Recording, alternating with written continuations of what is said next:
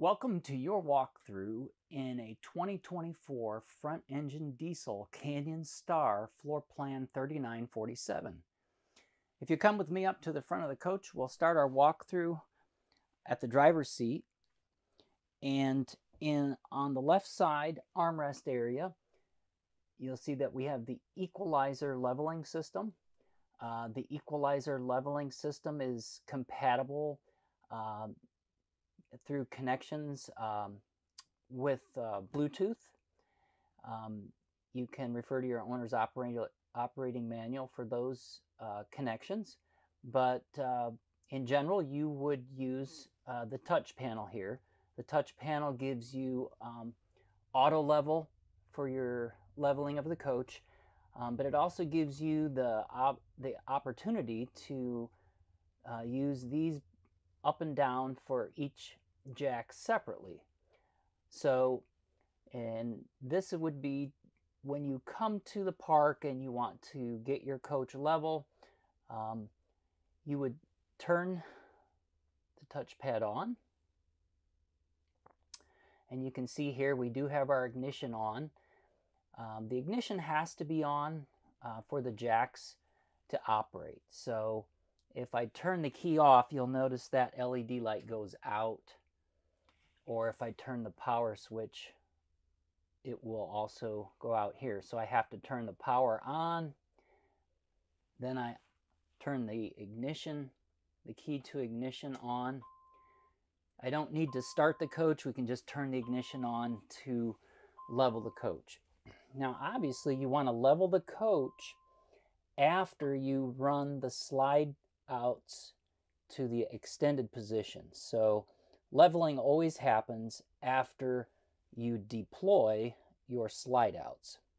So in the easiest way to level here would just be to hit the auto level. Once we turn the touchpad on and our key to ignition on, we just press the auto level button and you can hear the the pump motor for the jacks running the lights are flashing and you can hear the jacks are extending and you'll feel as the jacks touch the ground you'll start to feel the coach uh, move to the level position so it will take a few minutes for the complete process for leveling. You can hear the tone of the jacks change a little bit as they get more weight put on them. If for any reason during the leveling process you were on too much of an angle and the jacks weren't able to completely level the coach, you would get the LED light that might come on for excess slope. If that happens, you would obviously need to uh, move to a more level area for the jacks to make the coach level.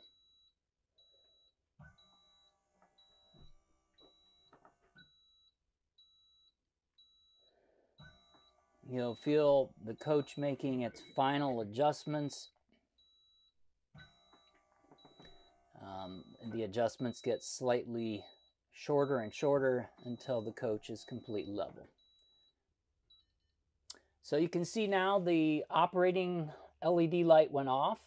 Uh, the buzzing or, or sound alarms tone went off.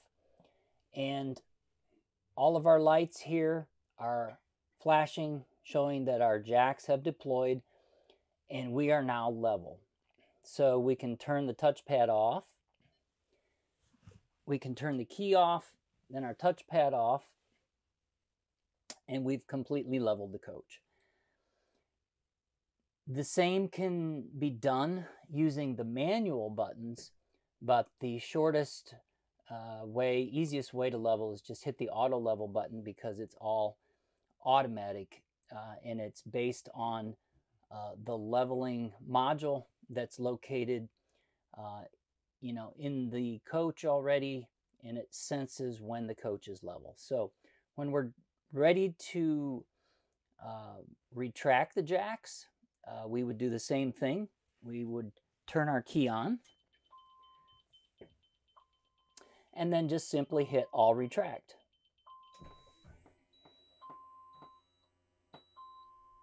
You can see the operating light came on. You can feel the coach moving slightly as the jacks are retracting.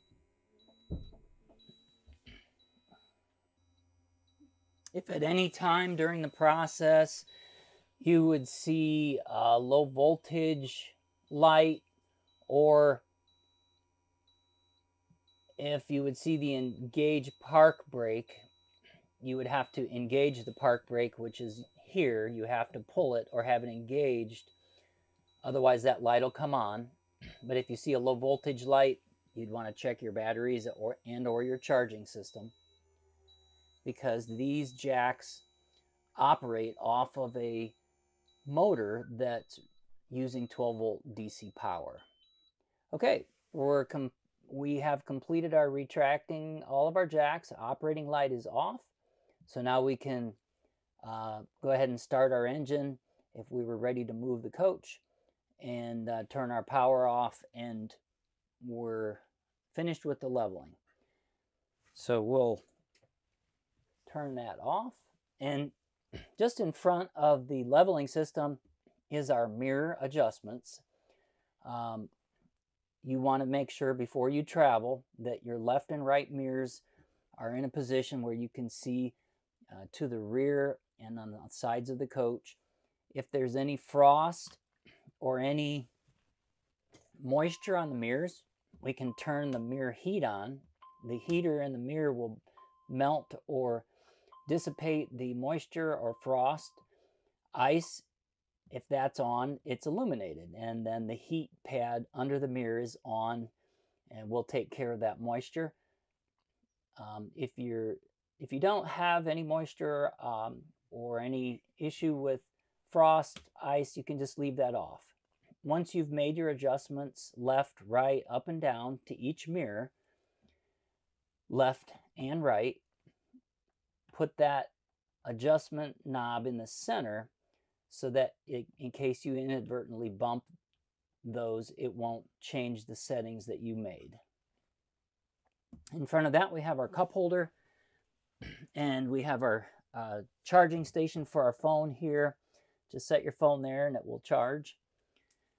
We have the headlights and marker lights on or automatic. So if we go to the left, then they are on automatically. Zero is off. That's just the marker lights, parking lights, and then the headlights on uh, switch there. Below that, we have our parking brake. We always want to set the parking brake to on or uh, we want to pull it towards us as we're seated when you pull it towards you, that locks the brakes of the coach so it doesn't move. When we're ready to travel, we've got our engine running. To release the parking brake so that you can move the coach, you just press in and that releases the brakes. So now you can put your coach into drive or reverse and you would be able to move the coach. But if we're parked or we want to stop and get out of the coach, we always want to pull the parking brake and that sets the brakes. Then we always want to put the coach in neutral after we set the parking brake so that it doesn't move. The lever just below the parking brake is the hood release for the front of the coach. So to release that hood, just pull back and that will release the front hood. Just below that, there's a pedal here when you press down, now you can see my wheel wants to move automatically forward. It's got some spring tension so that moves out of your way. When you get into the driver's seat, you can move that and you can adjust it, the tilt, wherever you like uh, before you drive. Once you have it adjusted where you like, then you release your foot and it locks it into place. So press down, unlock, move to where you like, release, and it locks. Or you can press it and just move it all the way up out of your way when you exit the driver's seat. So just to, uh, on our left turn signal here, we have additional controls uh, for the headlights, for the wipers, and for the wiper wash. So wiper wash, just depress, push that in, and that will put your wipers into a wash cycle. You can adjust the speed of the wipers here. This is intermittent here and off. Headlights here, if we have our headlights turned on, you can see there's an indicator of the bright lights or dim lights. So I can turn it on bright headlights or dim right there. Left signal, right turn signal. On the steering wheel, uh, there's uh, our cluster on the left our cluster is what you see here. The home screen, if you press the home screen, that's going to give your selection for what you can view on this glass dash. This, of course, is a Freightliner glass dash. When I press the home screen, I can see gauges, fuel economy, uh, trip 1 and 2, um, my vehicle settings, diagnostics, and menu. And to scroll to any one of those, I just press the arrow down or up. And then once I get to the setting I like to change or view, then I press the center button, which is okay. So I want to view diagnostics and I press diagnostics. Now I can see faults, internal diagnostics, transmission, prognostics, system information. So which one of those I would like to view, then I again go moving the arrow. Let's say I wanted to look at the transmission. I press OK again, and there I can see filter status and my oil life. If there was an issue with the oil level, it would be displayed. So if I want to return back to the home screen, I can just press the home button and I'm back. So any one of those, as soon as you are highlighted on it, just press the OK, and then you can select up or down in those categories. Engine loads, gears, oil pressure, coolant, turbo boost. The small icon on the left here of the cluster is your favorites selection. And if you press and hold that for five seconds in any one of these menus, then it pairs with that so that you can quickly press it and go back to that setting.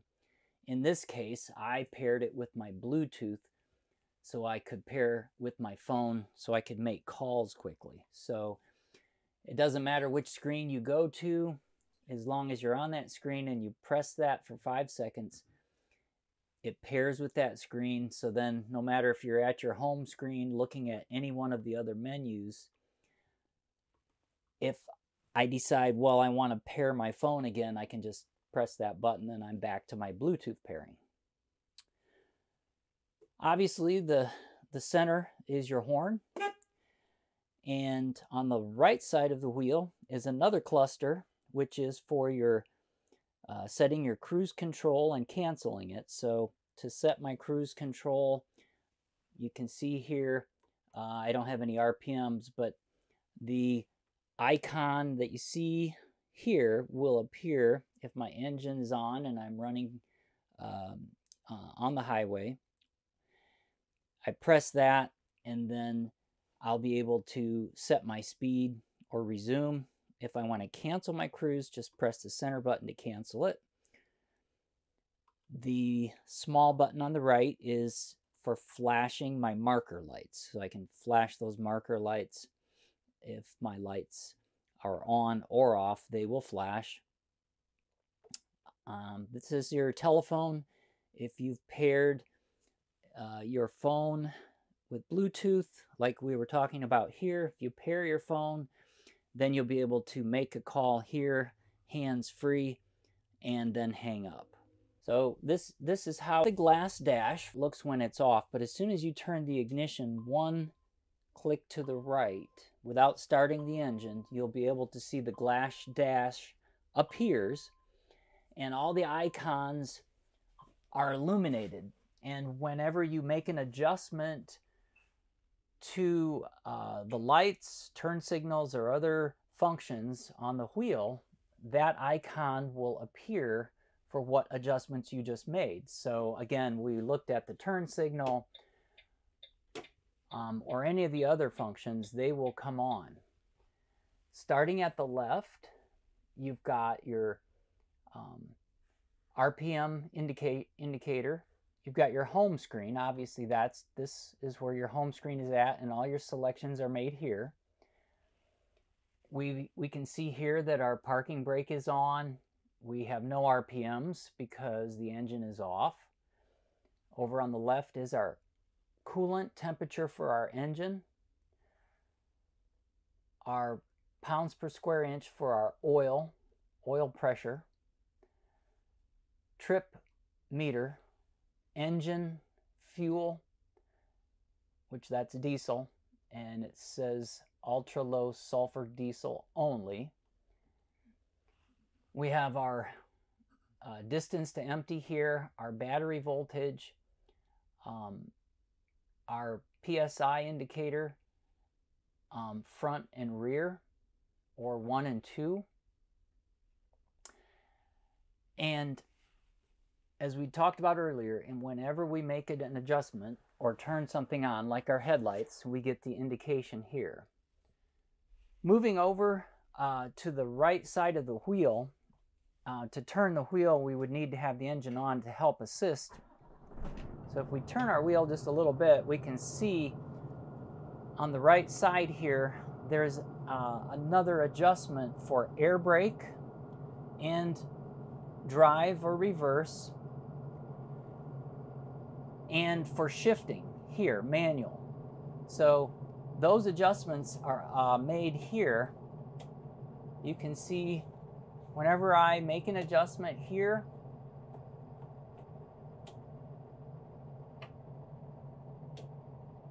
then I'll be able to see if I if I hold the brake down and I press and I go to drive, you can see it goes to D1, neutral or reverse. And again, this is manual or automatic shift here on the side.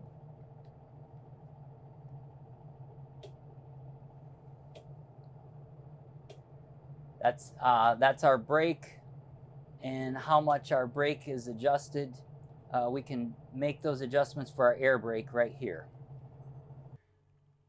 Just in front of the shift and brake lever on the right side of the wheel, there's your emergency hazards. So you can press that and they'll come on without the ignition key on. So, and just press it again to turn them off. So we've moved over here to the center of our dash and you can see here we're scrolling through the menu. So in our, this is actually um, a multifunction radio system and when you press the menu button you'll see the different selections you can make. We were at the Bluetooth and we'll go back there in a minute but you've got your radio and you can tune your radio to selections you like. You can go to your media center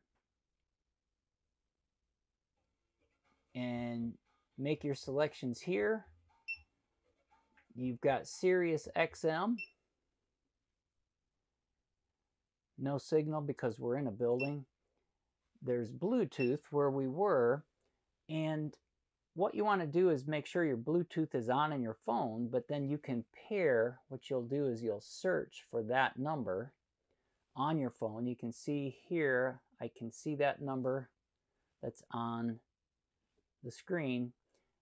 Press that one and then you'll pair the radio core with your phone. Mine is called iPhone 2.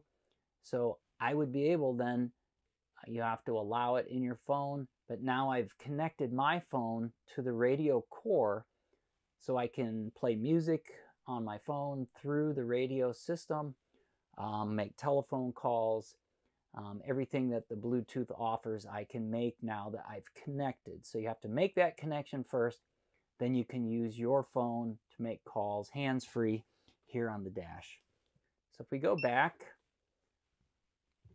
uh, we have additional um, plugs, we have auxiliary plugs. One that you'll probably use a lot is your camera control. So if we're here at the menu and we press camera control, we have selections of our camera. Our camera view is on the right. What we see from the cameras outside, but we can change this view by pressing any one of these selections. So this is my right side of the coach. This is my left side of the coach. And those will automatically come on when you're driving and you turn right with the right turn signal or left for your left turn signal. Whenever you put your coach in reverse, the reverse or rear camera will come on. But you can make those selections manually just by pressing it, uh, going to the camera control. iPod um, navigation. Now you can see there's navigation here. If you're in the menu and you press nav, you have to accept and now you you are using the navigation system and GPS uh, signal um, through the radio core. So you can either press navigation here, or if you're in the menu selection, you can press navigation there. And then of course you've got a menu and you can set your routes um, or use the routes that are already preset. Our last uh, selection is our setup. And of course you can go through the setup screen and set up your system um, to the way you like um, and the settings you like um, for let's see, there's only two page, there's only one page in that one. But anyway, you can go through and go to each one of these icons and preset the uh, system to the way you like. There is, if you look at the bottom of the screen, one that's called House Mode. So this is the button that you want to press. You can see how it highlighted to a, a yellow bar on the left that means your house mode is on. Whenever your house mode is on, uh, that means that you could go to the outside entertainment center and you would hear whatever you're playing for music outside. So you have to have the house mode on in order to hear the entertainment center radio selection that you've made here. So if you don't want to hear the radio here outside at the entertainment center, then leave the house mode off. So just leave that off and then you could make the selection for the television outside. Uh, there is a dim switch here uh, for bright or dim. There is a favorites button here. You can select your favorites. To turn this screen on the left off, you can just press and hold here. The volume is to the right, but uh, you can press release and then you see the splash screen here. That means that it's off.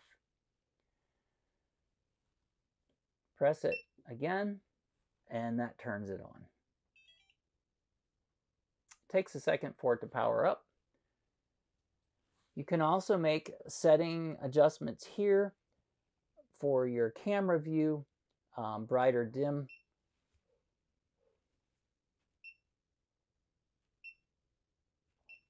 You can see it's changing brighter, dimmer,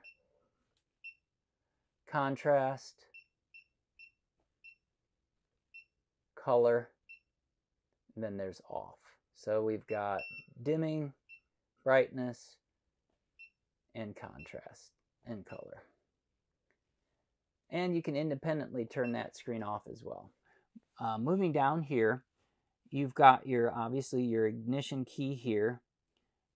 the first click is ignition on, and then when you turn it again, that's starting the engine. You have your overhead fans on, off, and low. You have to have your ignition on to hear that. So you can hear my fans in the overhead are on. Those are used to move the air in the front windshield area for defrosting. There's off in the center or high fans at the top. I have my dome light above us.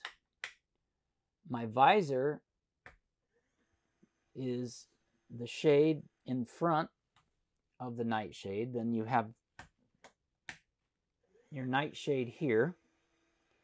If you'll notice, I've got the key ignition turned on. So if I bring the nightshade up and then try to go back down, it won't go down. It stays at the halfway point. That's a safety feature that Newmar builds in. So you have to have your key off or ignition off in order for you to move that shade all the way down. That's just in case you're driving and you have your key on, you don't want that shade to come down.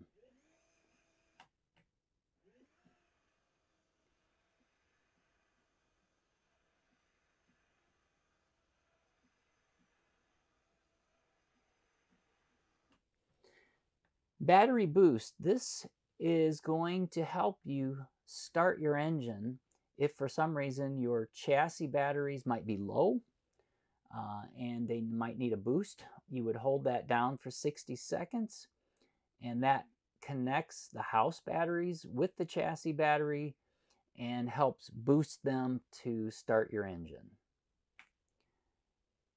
Just to the right of that, we have our generator start stop switch if you press and hold the start in the up position, you'll see the light flashing. You'll hear the priming and preheat starting in the generator, and then it'll start up. If you are not plugged into shore power and you need to run a 120 volt appliance, start your generator that will also charge your batteries if your inverter is turned on. When you're done with the generator and you want to shut it off, just press stop.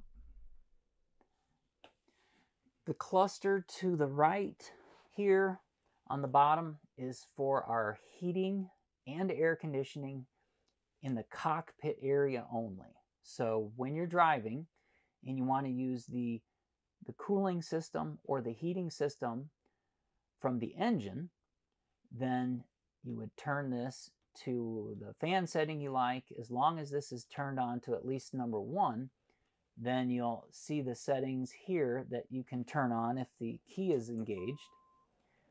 So the snowflake is for air conditioning. So if I press that, you'll see the little LED light comes on. That tells you that your air conditioning compressor is turned on. And as long as there is refrigerant in the system, uh, you'll have cooling. Now, to get the cooling a little bit faster in the cockpit area, if you press the recirculate button, then the air that's in the coach will stay in here and cool down faster. If you don't press the recirculate, then you get some air from the outside mixed in. It'll still cool, but just not as fast. So for faster cooling, and faster heating, press the recirculate. If you need to defrost, it's sometimes better just to let a little bit of fresh air come in and not recirculate. To turn the air conditioning off, just press and the LED light goes out. Higher fan speeds, just turn to higher setting.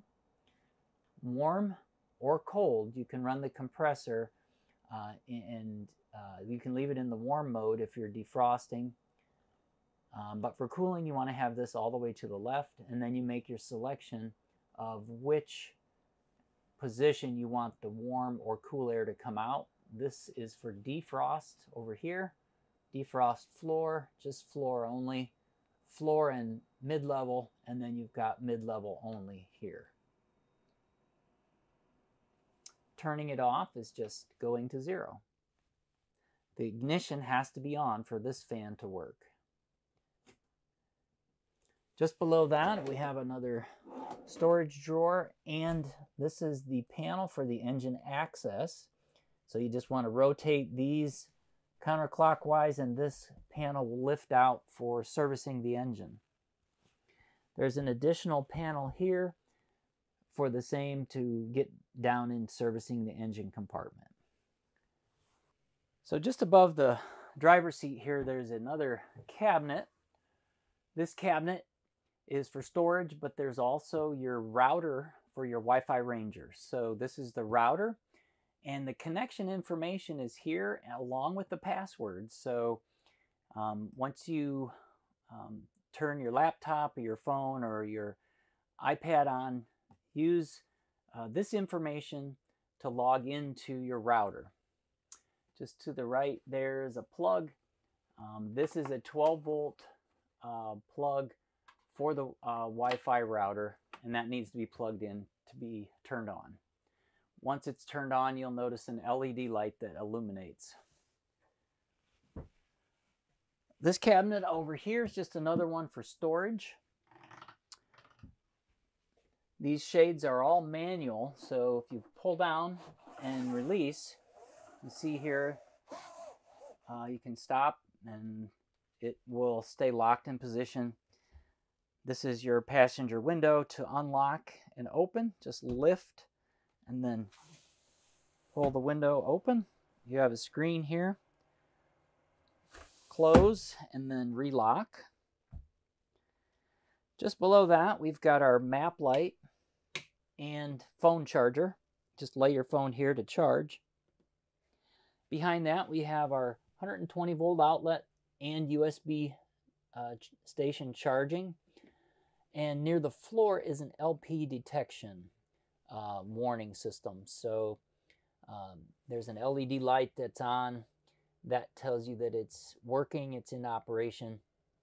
If there was an LP issue or leak in the coach, that would uh, signal uh, warning sound alarm. Both the driver and the passenger seat are powered with 12 volt motion forward and reverse, up and down. It moves the whole base. Tilt, it tilts the whole seat forward and back. And there's a latching release for the entire seat to rotate towards the living room area. So as long as my seat back is forward enough, so if I want to make sure my seat is out of the way from the couch and the back is not going to hit. Now I can release this lever and I'll be able to turn the entire seat over towards the living room area.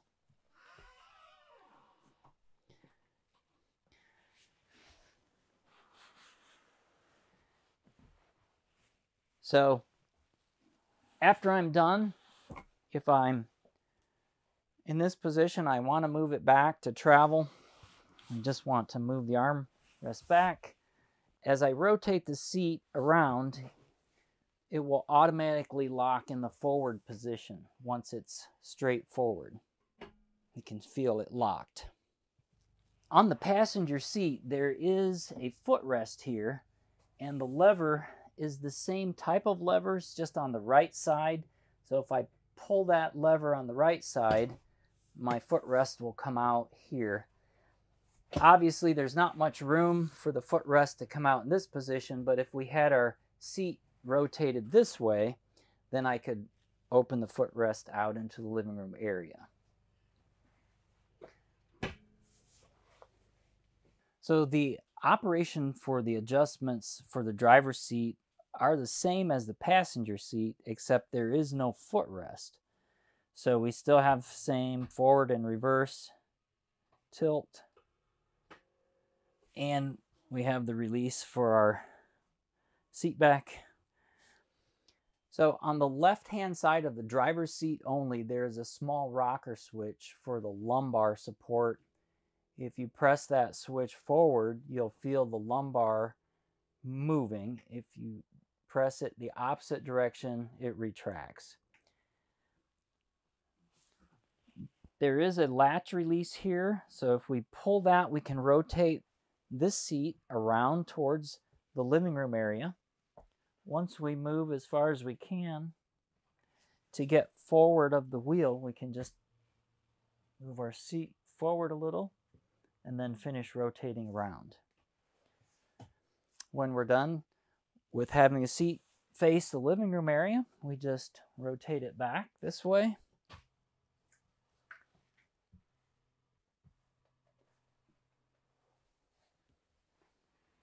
and it automatically locks into place.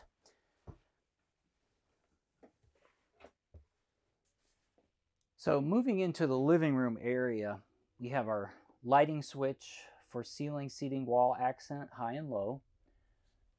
We have storage above here.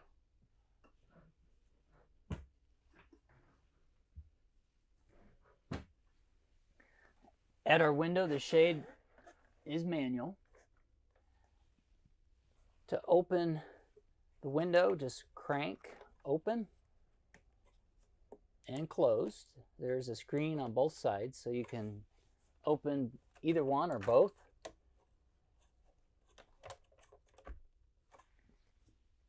So to open the sofa up into a bed, I'm going to remove the pillows and grab in the base and lift up. And it folds out. You'll have to move the cushions a little bit into position. And there you have your sofa bed. To retract it back in the original sofa position, just lift up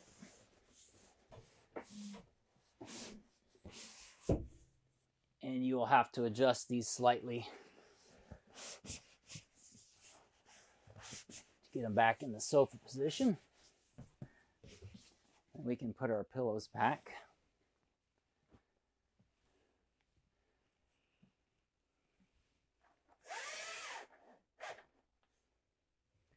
So moving over into the door area, we've got our fantastic vent control, which is the fantastic vent in the kitchen. We have our patio light, you can see turn on and off. And we have our ceiling light controls for bathroom, bedroom, accent lights, high and low. Just one press turns them on and off.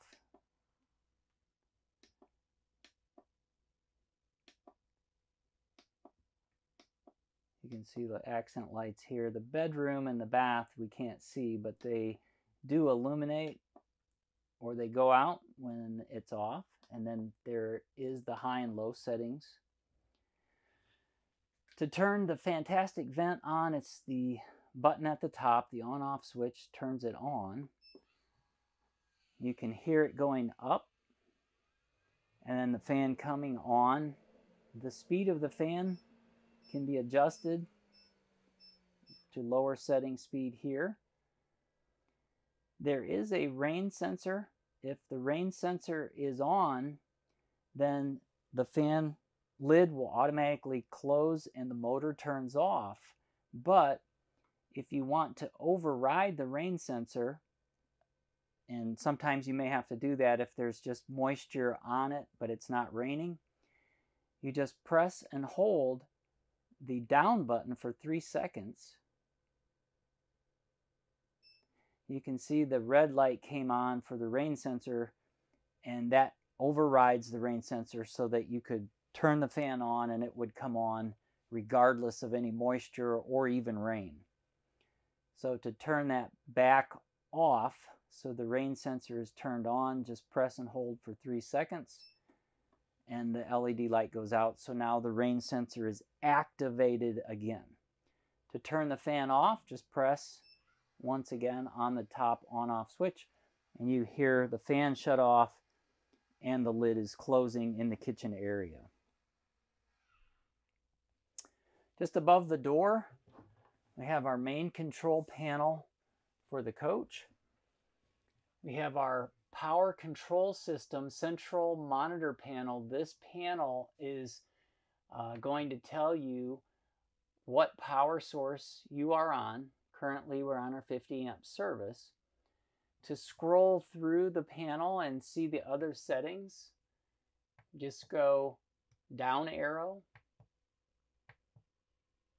It gives you line statuses, line 1 and line 2 because we're on 50 amp.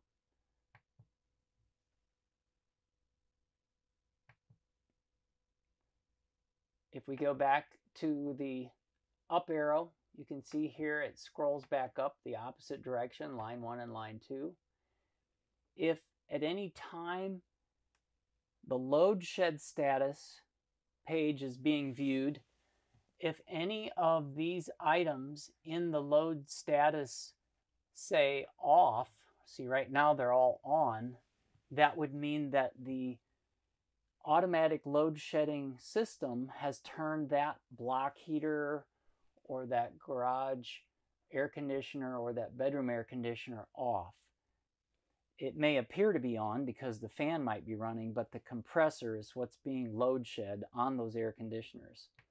So again, if you see that they're on, typically you're on 50 amp and they wouldn't need to be load shed, but if we were plugged into a smaller cord, where this automatically will switch to a 30 amp setting, then you would probably start to see some of these loads being shed and those appliances would not be able to come back on until you either turn the generator on or you were plugged back into 50 amp service. Just to the right of our load management system is our Xantrex inverter. The inverter powers up the appliances in the kitchen, like the refrigerator, so that we can operate the refrigerator even though we might not have the generator running or be plugged into shore power. So if we were dry camping and we wanted the refrigerator to be on, we would make sure that our inverter was turned on. The other function that the inverter does is it charges the batteries. So we want to make sure if we're plugged in or the generator's running and we need our batteries to charge that our inverter is turned on here. If our inverter is off, we're not going to get battery charging and our appliances in our kitchen are not going to operate. Just to the right of that, we have our water heating system, our Truma AquaGo. Currently, it's set to off. To turn it on, we would just go to one of the settings here at the top. The top one, the icon is showing the temperature setting 1 and 2. Uh, the settings at the very bottom are for cleaning. Just refer to your owner's manual for the uh, cleaning that's done um, yearly. So you don't want to go into the cleaning mode and then back into operating mode because there's a couple hour delay. So only go into the cleaning mode when you're ready to clean the system out. There's a Winegard satellite system switch on and off. Just below that, you have your block heater or preheat. So you can preheat your engine on cold start days. You don't want to start your engine on uh, if it's really cold outside, before you turn your block heater on, let your block heater run for a good half hour before you start your engine. Just to the left of that is our awning control for our main patio carefree awning. The switch on the left turns it on, and then the switch on the right retracts and extends. So we have to have it on for it to retract or extend. Turning it off uh, then it's just dormant. Just to the left of that is our television over-the-air antenna control. If we turn it on, you can see it scans for channels automatically. If we have the over-the-air antenna turned on here and illuminated, it will show the number of channels it's found. We can make slight adjustments left or right with these buttons here. If the over-the-air antenna is on, that means you won't be able to view the cable network that you might plug into for the cable channels. You have to have this off if you want to view cable. So just keep that in mind. Over the air, you have this turned on. But if you're going to watch cable, let's say you have cable connections at your park, then you want to make sure this is off to view cable. Just to the left of the Winegard antenna is our step. You can hear I can override the step just by pressing this button. What that does is it keeps the exterior step at the door open whether or not the door is open or closed. So you might want to just leave the step override switch on if you're getting in and out of the coach often because otherwise the door, every time you open the door, the steps go out. When you close the door, the steps come in. The last switch that we'll talk about is your battery disconnect. This is for your house batteries, not chassis. These are your batteries that operate the lightings and functions in your coach. If you turn this switch off, the red light will go out and the lights will go out in the coach. Then you would have to turn your light switch back on when you turn this back on. So when you initially come into your coach to get things to turn on and operate, you have to press this to on and this light will need to illuminate and then you'll be able to operate your 12 volt controls in the coach. When you're going to store your coach for a certain length of time, you would turn this off, just press it once, it would go out, and that would be saving your house batteries uh, for extended storage periods of more than a few days.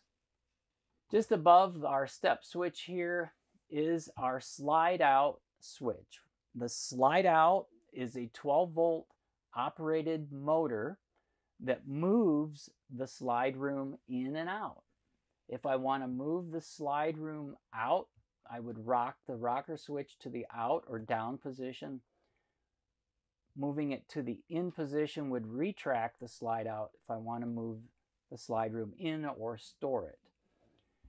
Refer to your owner's manual because you don't want to operate this switch until you've checked your reveals We'll show you how to do that outside when we're looking at the um, Z trim and the fascia trim.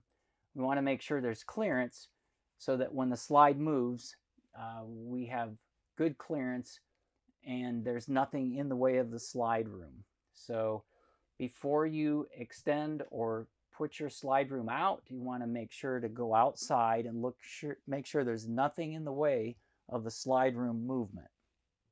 And the slide room is typically extended before you put your equalizer jacks down. Uh, we want to do it that way because the coach needs to be uh, on an air ride suspension before the slide is extended out to the out position. And then after it's extended out, when you would operate the jacks, then the jacks would be holding the coach in the level position and the airbags would be deflated. So when you look at your ceiling, you'll notice there are sets of louvers here. There's louvers with filters on the passenger side, and there's louvers here without filters on the driver's side. So the discharge air that's coming from the air conditioners or the rooftop heat pump air conditioners, uh, they heat and cool. The air comes down here. The air that's coming down goes back up through the filter into the air conditioner and then back around. So all of the air is filtered here going through these filters. So you want to keep these filters clean. To clean the filter, you can um, use compressed air to blow the dust off, and then you'd want to wash the filter in warm soapy water and then rinse it and squeeze out the, the uh, water and then let it air dry. After it's air dried and clean, and we put it back in place and then put our our louvers back up. Now there is an additional filter in this assembly here. You'll notice there's four screws here and a filter and another four screws here and a filter. So these two filters need to be removed by taking out those four screws and then cleaned and then put back in place. And those should be done at the same time these are done and the ones in the bedroom area. They all need to be cleaned um, every month or two uh, to make sure that you have good circulation of air coming from your rooftop air conditioners. Just to the center of the kitchen area, you have a smoke detector. The smoke detector um, has an LED light that illuminates every so many seconds, but to test this so that you're making sure that it's operating, if you press and hold the center uh, button right here, you'll, you'll hear the tone and that tells you that your system is working. And when you see the LED light flash every five seconds or so, that tells you the batteries are good. So looking for the LED light flash and pressing and holding that button down for a few seconds is going to give the audible alarm. That tells you your batteries are up. Now, if you don't get the light, LED light, and or the sound, you should squeeze it and just pull down. There is a battery, 9 volt, that you can take out and replace. So replace the battery if you don't have light warning and sound warning. Then do the test again as long as you get the sound and light, you're okay. If you still don't get it with a new fresh battery, then you need to replace the smoke detector. As you come in the entrance of your coach, you'll see a touch control panel, which is your KIB control panel. This shows you what is going on in your coach and you have complete control of your coach here with this touch panel. So as soon as you touch it, it will illuminate and then you'll see the options for you to control at the bottom. So I can go to my home screen. My AGS screen is my automatic generator starter screen. The HVAC screen is my heating, ventilation, and air conditioning screen. And of course my light lighting screen. So starting at the left, my home screen shows me my tank levels here and my battery levels, house battery and chassis batteries here. Whenever I press a button, like say water pump, you'll see that it turns a red color. That means it's on. So any of the ones that are in gray are off. If I press it again, it goes gray, so that's off. Tank heat, same way. If I press it, that's on. Gray is off. Once I get levels of fresh water, gray or black, in any one of my tanks, those will start to go up and they'll be blue.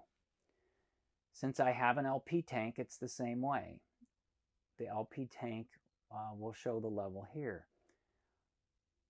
Living room kitchen lighting, so I can turn all lights on here, all lights off here. AGS screen is here. I can set the generator to come on and start so that if my batteries are going low, let's say I'm not plugged into shore power, then I would want to set up my AGS for runtime. So refer to your owner's manual for the AGS operations, but um, you want to make sure that your AGS is on, especially if you're dry camping, because the generator will start automatically. That's what it's that's what the name is, AGS, automatic generator starter. If you go to your HVAC screen, you'll see I can control my heating and air conditioning. So whenever those modes are on, it shows the mode that's on, cool mode, auto mode, heat pump mode, furnace mode, fan mode. Or off. If I want to make the fans come on all the time, I can go to a low fan in the living room. If I want the low fan speed to be on on the air conditioner in the bedroom, then I would turn that to low fan on the bedroom. If I go medium or high, we'll go to those settings, or just auto will come on only with the compressor when it goes into heat pump or cool mode.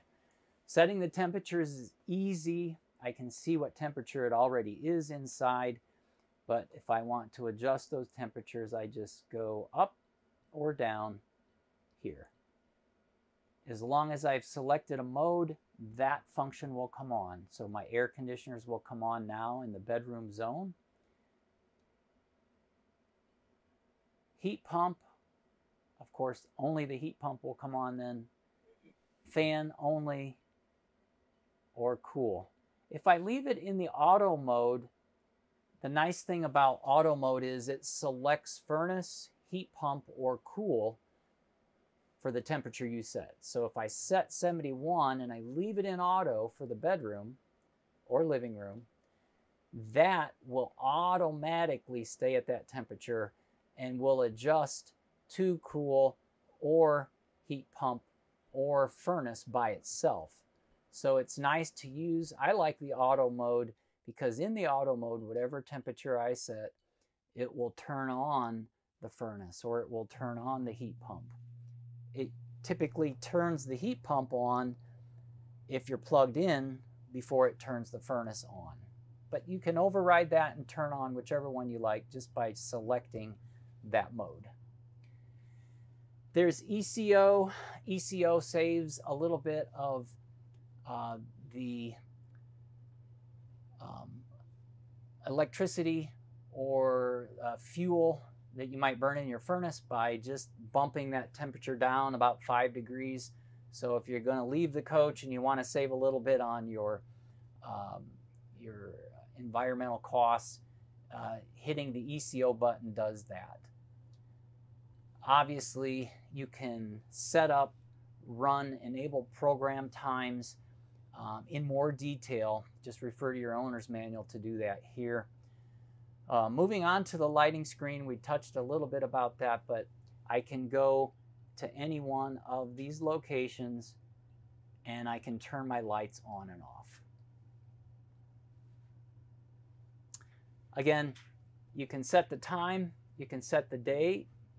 Um, all these settings uh, can be, you know, looked at and changed uh, from those setting screens. So if we need to change our time or day, we need to go to the HVAC screen here and then go to setup. Set time. So here we've got our day and time settings we can change here. And then when we're finished, we can just go back to our home screen. So we're in our dinette and we're going to go over the cabinets and the operation of the Dream Dinette. If we open this cabinet, we'll see we've got our connections for our satellite on the back with 120 volt outlets. The uh, HDMI cables are labeled source, Blu-ray, and satellite. And of course, that's where you'd put your satellite receiver and plug it in and make your connection to your satellite. This is your Bose soundbar. It has a remote. This is our cabinet and our connections for our other AV TV operations here. You can see a small louvered plastic cover. That's our sensor for our room temperature. More storage here. And of course our lighting controls, additional GFC outlets with USB charging ports. To fold this dinette into a bed, there's a lever that you release here at the base. Once you turn that clockwise or down, then you need to remove the cushions.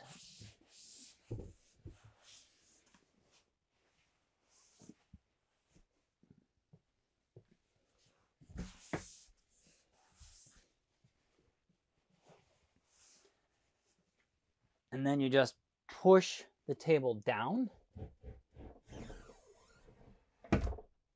It sits into place. Then you can put your cushions back.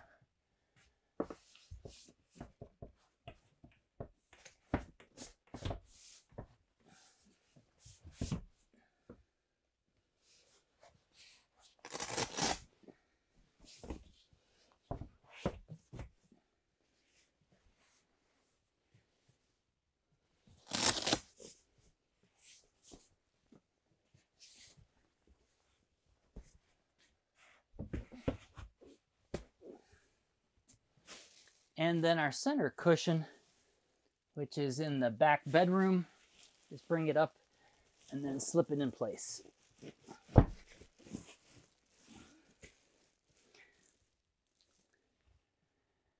And then removing it and putting it back into the dinette same way, just remove the center cushion.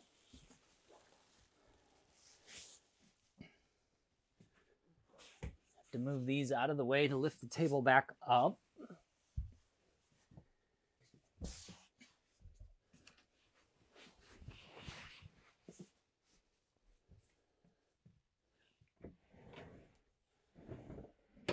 Lift the table up, lock it back in position.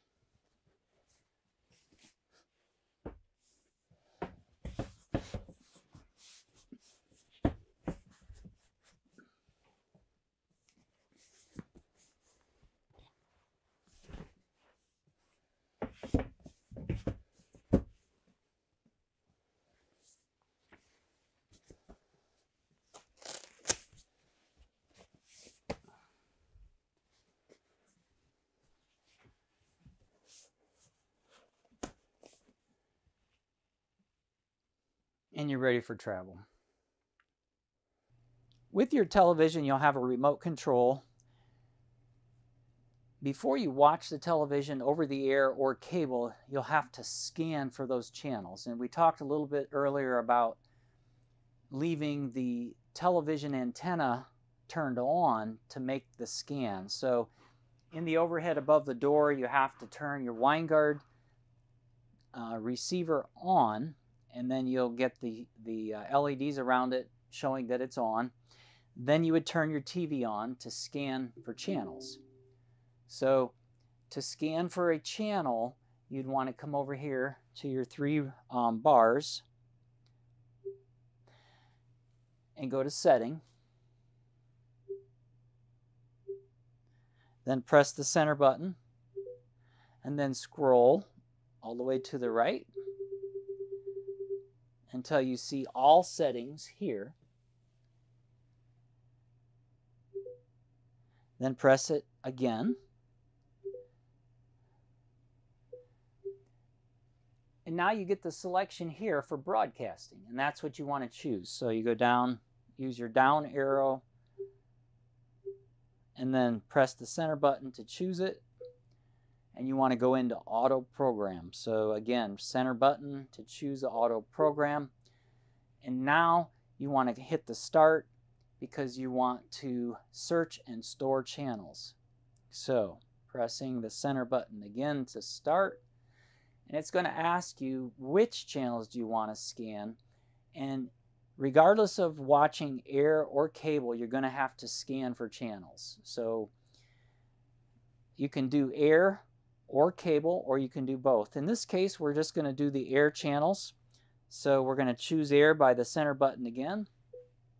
And it goes through a scanning process and it will tell us how many channels it finds. Now we're in a we're inside of a building, so the the the scan is probably not going to show um, too many channels.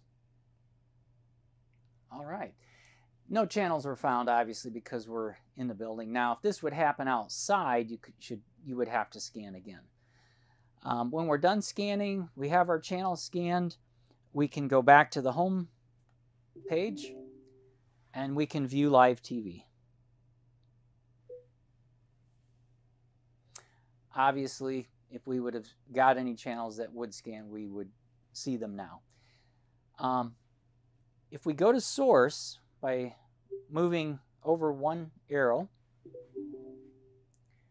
we can choose the source that we want to watch. Obviously, we're on TV now.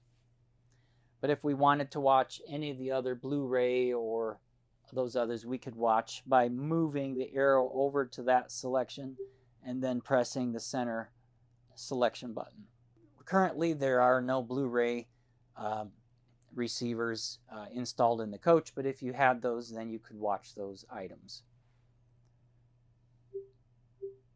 So again, if you want to scan for cable, you have to turn the over-the-air Winegard receiver off, and then you would scan for your cable channels to watch cable if you had part cable available. That part cable plug is outside, and I'll show you where that is a little bit later. But that has to be plugged in for you to watch cable, unless you're watching one of these other uh, selections here.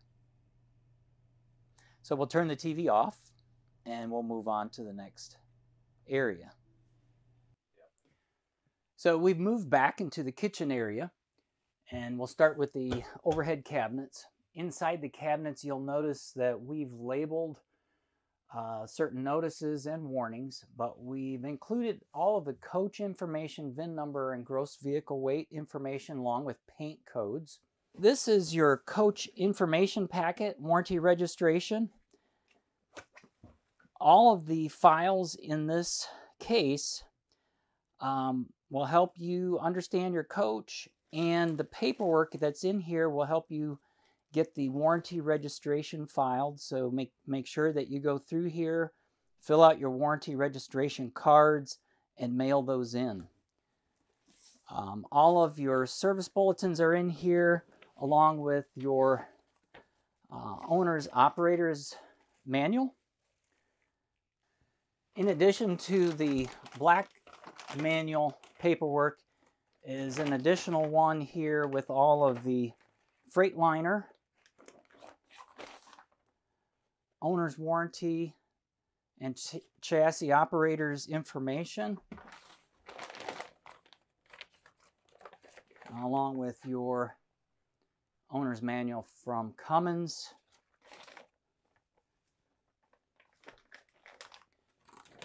There's a hubcap wrench here with your chassis information. We'll show you how to use that.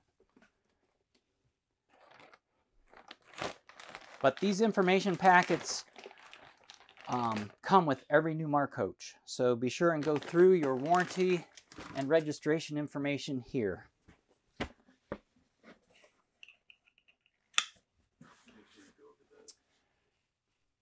Up in this cabinet, you'll notice a cord, 120 volt outlet here. This needs to be plugged in to operate your microwave.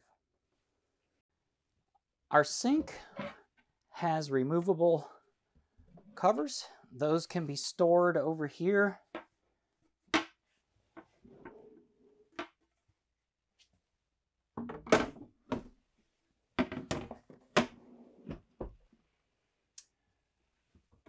The microwave handle is here. Newmar installs an additional locking mechanism to keep the door closed during travel. So you'll notice that you'll, you'll need to push it to close and that will keep it closed during travel. These two removable covers have a cutting board on the back side. So they serve two purposes, two functions. There's a cutting board on each one. This is your true induction range. The um, pans that you would use here have to be magnetic. Once you put the magnetic pan on the surface on either side, you will turn it on here for the power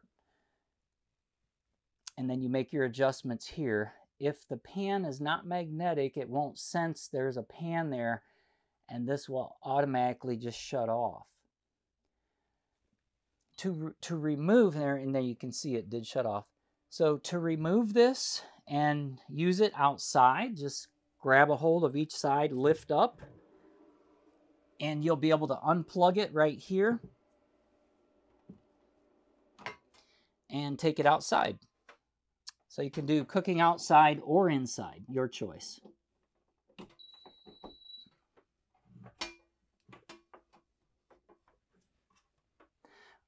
And just reinsert it back in place. And then put our cutting boards back on here.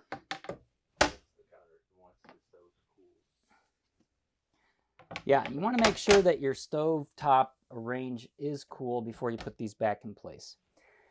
There is additional drawer space down below here. When you get your coach, your extra set of keys, remotes, and house filter wrench. Um, the remote for the rear curtain in the toy hauler area is here. We'll go over that later.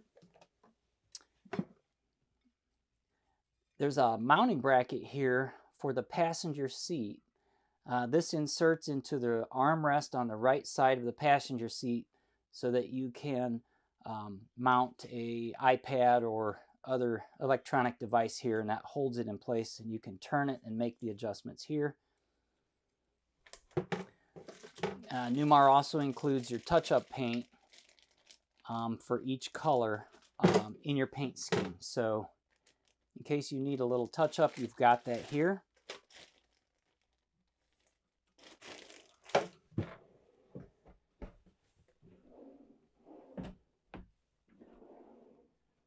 Those are our covers, sink covers, more drawer space here.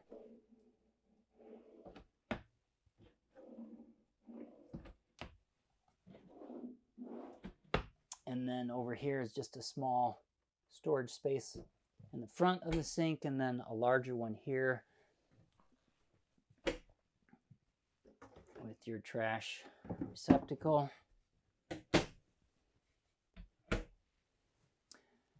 And oh, there's a window here. It has uh, dual crank openings for fresh air with screens on both sides. On the bottom side of your microwave uh, is where you would insert the screens that come with that.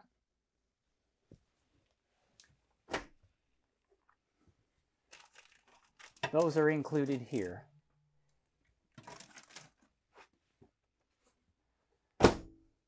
So the stainless steel refrigerator is a Whirlpool. You'll notice here there's a black slider. This is a door lock that Newmar installs to keep the refrigerator doors from opening when you're in transit. So I can open the door now, but if I slide that to the left, that's going to lock the door. So if I move that left, now I can't open either door. They're closed. Unlocking it, slide right. Now I can open my door. Just remember, always lock the slider before you travel to keep the doors from opening uh, and might lose food or whatever while you're in motion. There's an ice maker here at the top, freezer control knob at the back.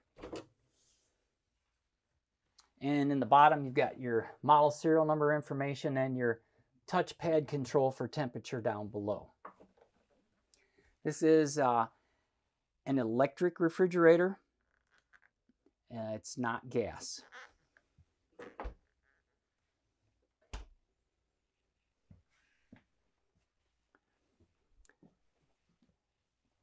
We have our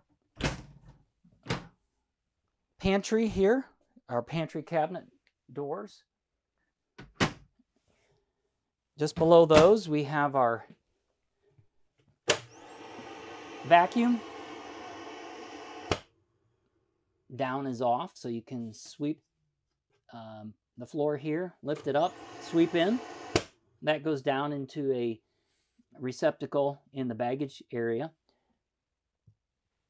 If you don't want to sweep, you want to use the accessories that come with the Intervac system, then those would be plugged in here.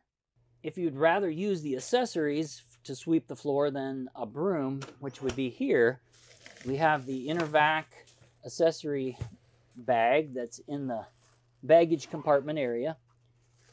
Those accessories are all here.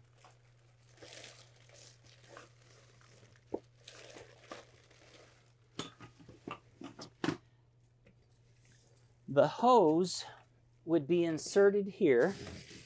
There is a warning here that you know tells you you should have the dust or filter bag in the vacuum before you insert it. Same warning tag is here. So that would need to be removed first. So you want to remove your warning tag here.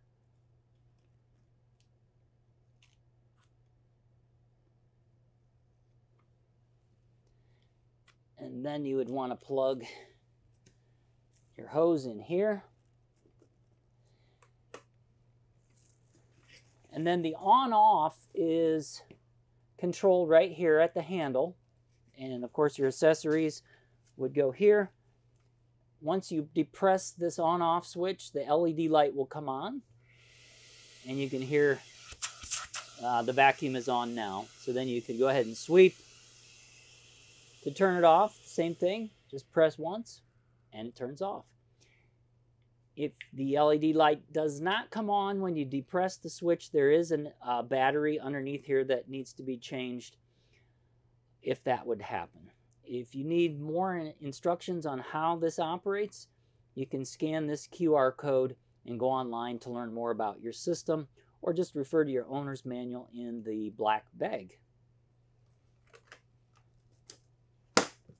When you're storing uh, the hose, since that is the on-off switch, want to make sure that it's stored so that uh, nothing's going to bump up against that um, and turn it on inadvertently. We're moving into the half bath here. And as we go in, we see a shower, sink, and our toilet. So let's move over into the shower area here. You can see that you can make the adjustment to either the handheld or the shower. This is our hot and cold adjustment on and off. It has a fold down seat if you'd like to sit down and shower. You'll notice that the door is a slider, but it has a lock. So just make sure before you travel that that lock is engaged or down so that door does not slide while you're traveling. So that would be for showering. And when you're finished, just close this all the way and then lock it. There's a skylight here above. There's a discharge and you have your fantastic vent here. Uh, this fantastic vent operates just like the one in the kitchen. There's a wall switch here. The wall switch has the on off the same as it did for the kitchen, this is on and off. There's on.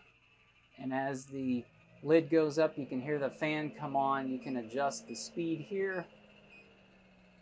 And uh, if there is moisture in the air to the point where the rain sensor might not allow that to come on, again, disabling the rain sensor is easy. Just hold the down button for three seconds and the rain sensor LED light will come on red and then the rain sensor is disabled and you'll be able to operate the fan like this. If you want to turn it off manually, you can, or you can turn it on manually just by cranking the black knob here. So I can actually, even when it's on, I can close it and turn it off manually. Um, again, I would want to do that at, at the control um, as long as it's working. So now you can see the fan and the lid are both down and off. There is a small black removable cover. That is the fuse for the fan. When that's inserted, you'll see a red LED light come on telling you that you have power.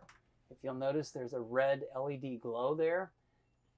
As long as you see that red LED glow, you know your fuse is good and powered up, and there's power to the fan. You have your medicine cabinet and storage here.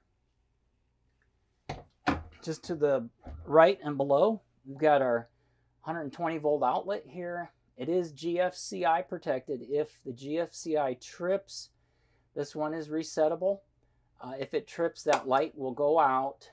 So there's no power here now or on any of the other GFCI circuits in the coach.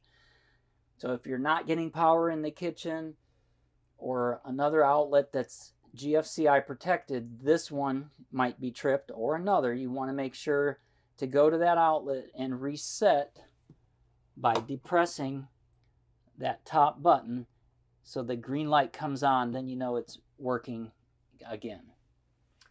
There's more cabinet space on the other side here. This cabinet contains our 120 volt and 12 volt breakers and fuses, uh, also our resettable fuses. If for any reason you have an appliance that stops working, you can check here for if it's a 12 volt appliance or feature function. Those labels F1, F2 going all the way down to F26 are labeled here. So if let's say your awning quit working, that is an F6. So then I would go here to F6 and check my awning fuse. If it was blown, I have spare fuses up here. I would get a fuse that's the same size and reinsert it, throwing the old fuse away, and then that function for the awning should begin working again. So all the appliance functions are labeled here for our 12 volt system. If it's a 120 volt appliance and for any reason that appliance may not work or it's not coming on, you'd want to come over here and check that label for that product. Let's say it's the microwave. Here's the microwave breaker. To the left is off. To the right is on. So you can see here our refrigerator is turned off. I'd want, if my refrigerator wasn't coming on, I'd check this. If it was off, I'd turn it back on. Now, whenever these might trip for some reason, they don't trip all the way over to the left. They typically trip and they're only slightly over, maybe towards the center. To reset that, I need to manually push it all the way to the left and then back to the right to reset it. So just keep that in mind. If you see one that's tripped, it's only going to be about there. You have to go all the way to the left and then back to the right to reset it to turn it on. All of our 120 volt uh, breakers are here. Engine block, air conditioners, inverters, cooktop, um, microwaves, refrigerators are all in this area. This is our main breaker. Here's our main to the pole. So if our main breakers are off, none of these are going to come on. Okay. These breakers actually are for the power that you're going to get through the inverter circuits in the kitchen like your microwave and refrigerator. So as long as your inverter is turned on, this sub panel, it's labeled here, sub panel, these breakers here, these will operate and work as long as the inverter is on. These work in the, in the upper half always when your generator's on or you're plugged into shore power. So close that when you're finished. This is the Dometic toilet. This is not the macerating one, but this flushes just simply by depressing the foot pedal here.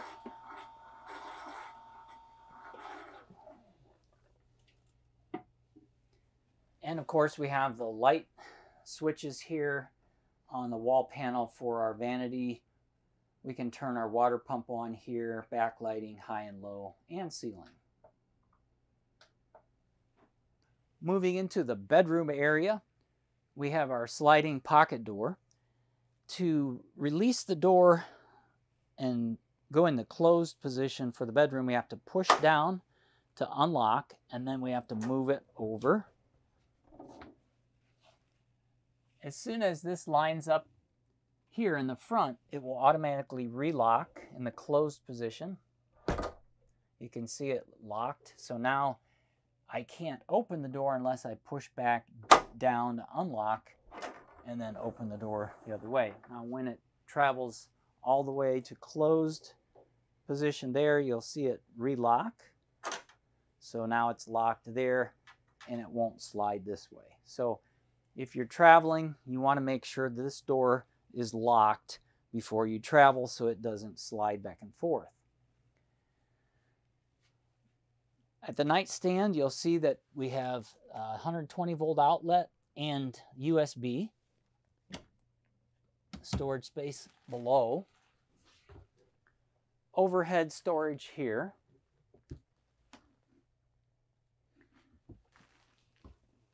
There is a 120 volt outlet in the back wall there.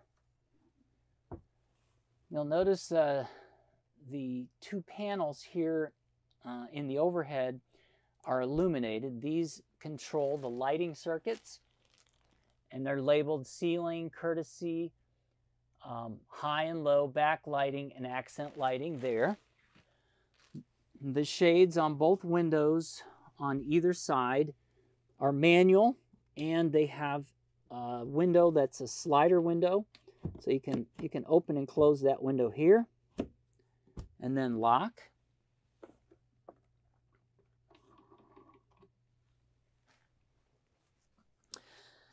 The bed base lifts up. Can lift that up and you can see we have additional storage below. Uh, the hole in the panel is so you can lift the panel out to access uh, the motor and electrical operating components underneath uh, those two panels.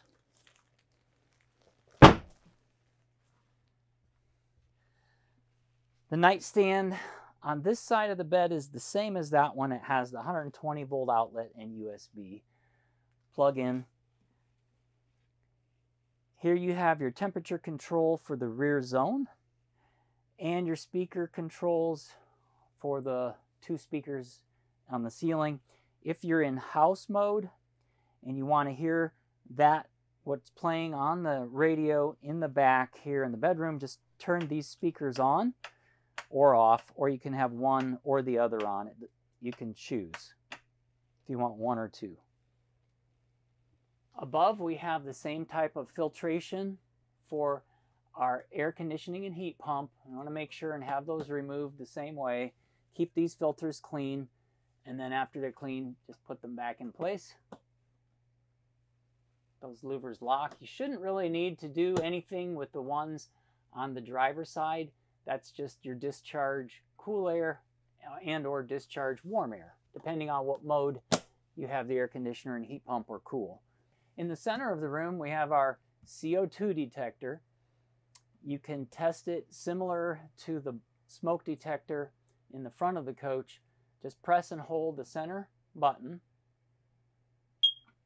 and you get the warning sound and you get the the LED light flashes that tells you that your battery's good and that it would sound in an alarm for CO2. If you don't get the sound or the light, just slightly squeeze it, pull down, and replace the 9 volt battery. After you replace the 9 volt battery, do the same test to make sure the sound and the LED light are working.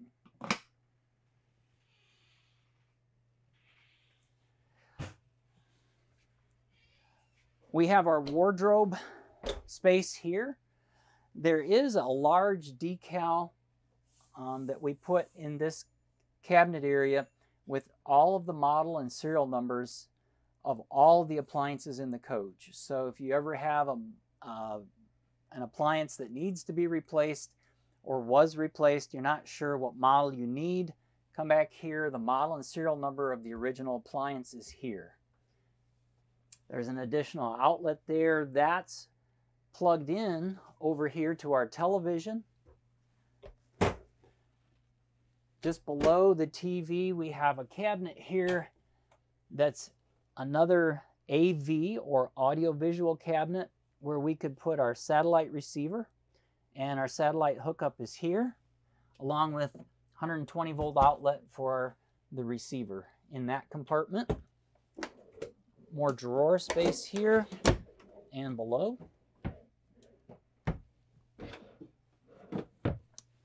And on the wall, we have our lighting control, again, for ceiling, dresser, accent, high and low. And we have our slide out control in and out for the bedroom slide. We want to make sure before we operate this to read the warning labels, not allow children to use it, and make sure before we run the slide rooms in either direction that there's nothing on the floor or on the outside of the coach that would be in the way uh, for that operation. These are not a momentary switch. You have to hold the position of the switch out until it's all the way extended or in until it's all the way retracted.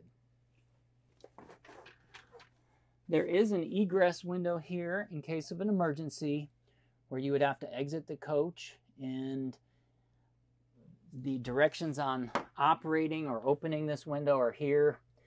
The pull handles are on the, here, they're labeled red. Again, just opening these on both sides, then pushing the window out is the way you would exit. You can relatch both of them here. There's no screen here. So we're at the front of the coach and before you travel you should always check your lights. So we're going to go through the light pattern at the front and we'll do the same at the rear. So right now you can see he's got his marker lights on and he's going to go ahead and turn his headlights on. Uh, he's got his dim, now he's going to go to bright and back to dim. And now he's going to use his turn signals. Um, you can see that his fog lights came on. He's going to turn those off. When you go to bright, your fog lights will turn out. So if your brights are on, your fog lights go off. So he'll check his turn signals, left and right, and both are working. So we got our headlights, turn signals, fog lights, and marker lights all working, so we're in good shape. So uh, we'll turn those off. Oh, those are your hazard lights. And uh, that should be our last check on lights. So we can turn our lights off. And we're going to take a quick look under the hood here.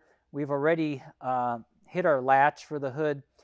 Uh, there's a pull latch that we talked about earlier. Once you pull the latch inside by the driver's seat, then we can open this, just lift up. There's a prop rod here. Put your prop rod in place. And now you can take a look at your fuel, your levels for your power steering fluid are here. Wiper washer fluid here. Um, this is, of course, your radiator or your radiators. Um, for your engine and uh, transmission. Um, also your, your HVAC system for your air conditioning. Up here you've got your transmission oil fill and dipstick, your dipstick for your oil and oil fill.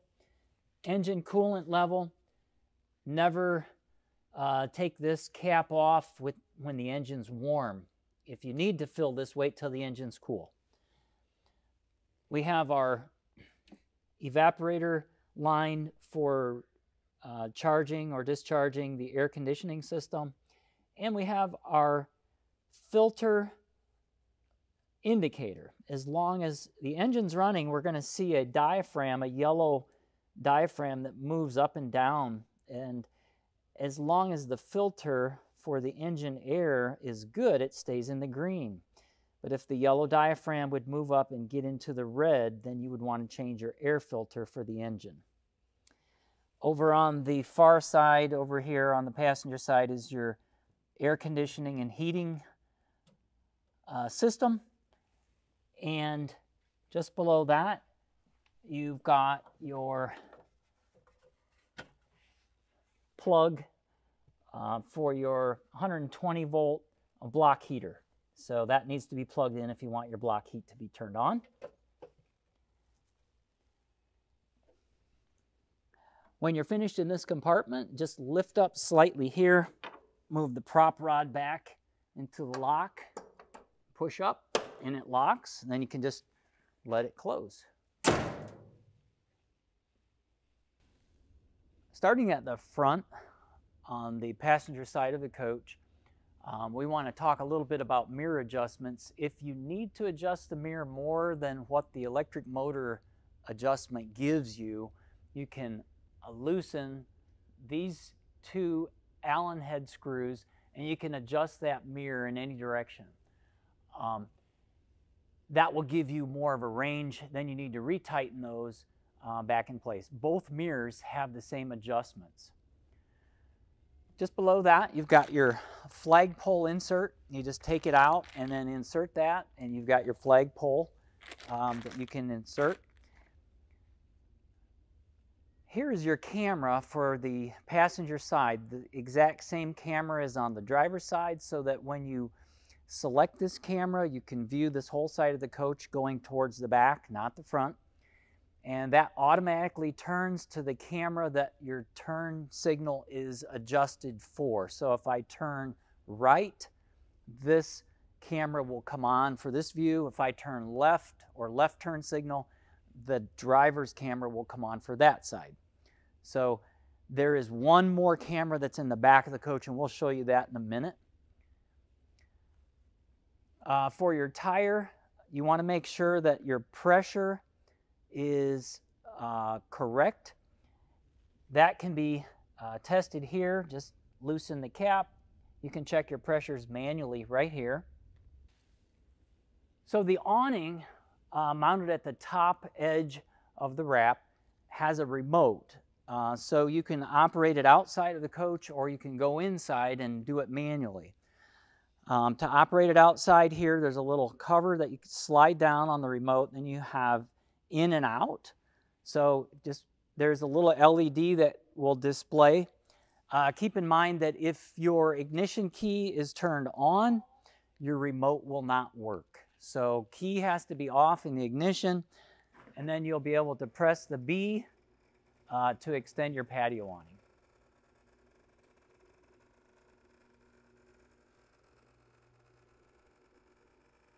If you want to stop the awning at any point, just pressing it again. So I press the B again and it stops. If I want to continue on after that, just press that B again and it will go the rest of the way out.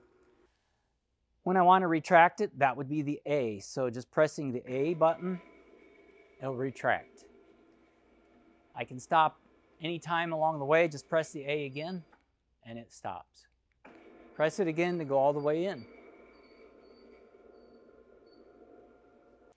we're at the end of the awning and you'll notice there's a sensor here at the end. And what that is, is if there's a lot of motion from wind, this will sense that motion and turns the retract on for the motor so that the awning stows and doesn't stay out when, when it's a windy day. So uh, just to simulate that, I'll go ahead and grab the end of the awning and move it and the shake sensor will know that there's uh, simulated wind and should retract the awning.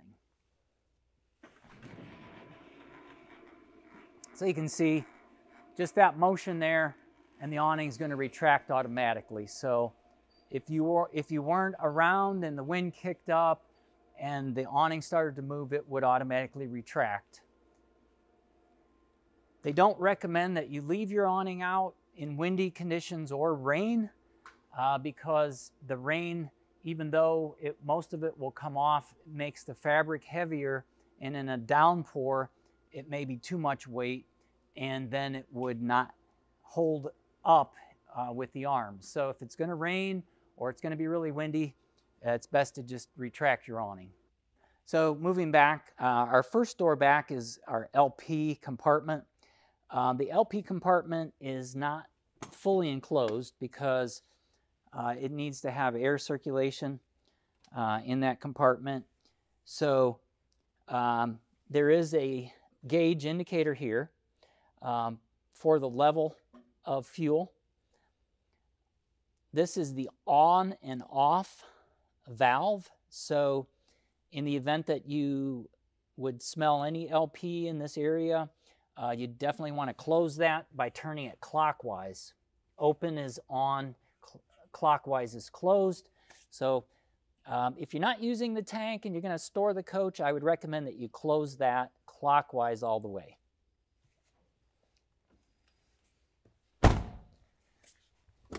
In our next compartment, we have the entertainment center.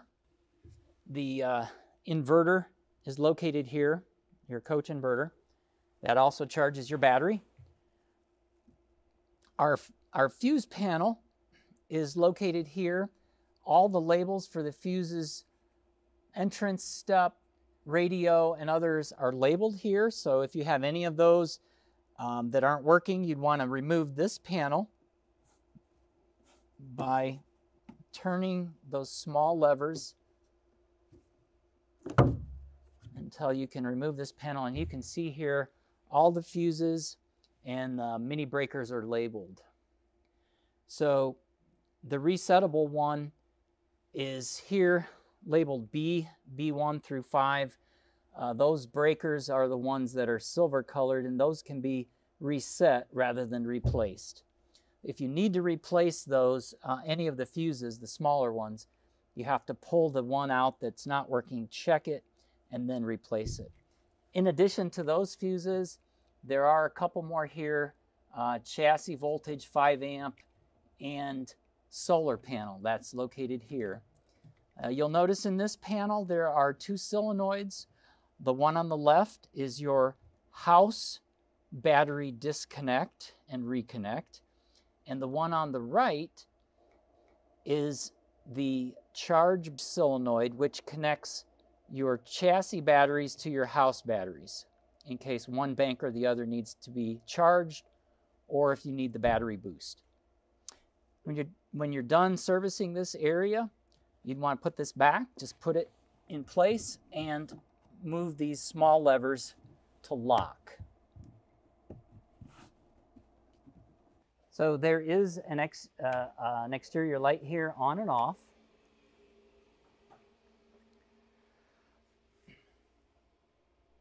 This rubber release handle, pin, this rubber release handle uh, will release the television uh, for your outside entertainment center. So be careful when you lift this up and release. You're going to move the TV out and then down uh, for your outside entertainment. Just above the television, you have another control panel here, and it is Bluetooth um, for your radio, uh, your Infinity radio. So you can see I've turned that on. Here's your volume control, on and off. So you can play your radio out here or by turning the house mode on, you can uh, get that sound out here. This is your TV, and that, of course that's controlled with the remote control from inside. There's an additional plug here for USB.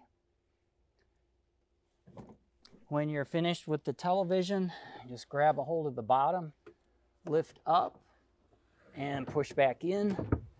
Make sure that you lock the rubber handle.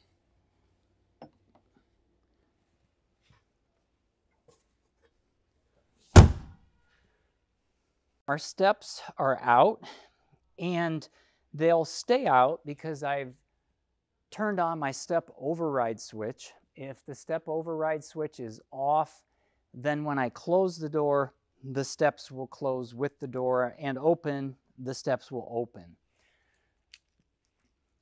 So your coach has a deadbolt and it has a regular door lock for the handle.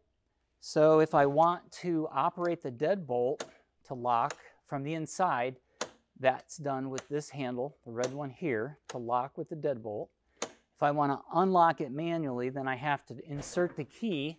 So to operate the deadbolt, it's uh, this key. This one would be for both locks, and for the rear door, it would be this key. So the purple key will operate manually your deadbolt from the outside or the door lock from the outside. To lock the door with the, hand, the handle lock, we can do it right here or unlock from the inside. To open or close the screen door, there's a magnet holding the door here. So just pull to release. We can close the door here and then we can lock it there.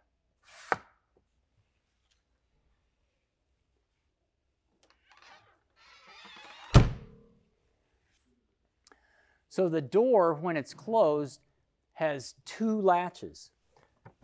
The first latch is just for soft close, and you could latch it in the first latch if you didn't want to close it all the way for travel. If you're going to travel, you want to make sure to close the door more firmly so it goes in the second latch and stays flush. That way you're not going to have air noise as you travel. But if you want to just latch it in the first latch, that's the first latch if you're parked and you don't want to slam the door. We do have an outside speaker here at this door and at the other door.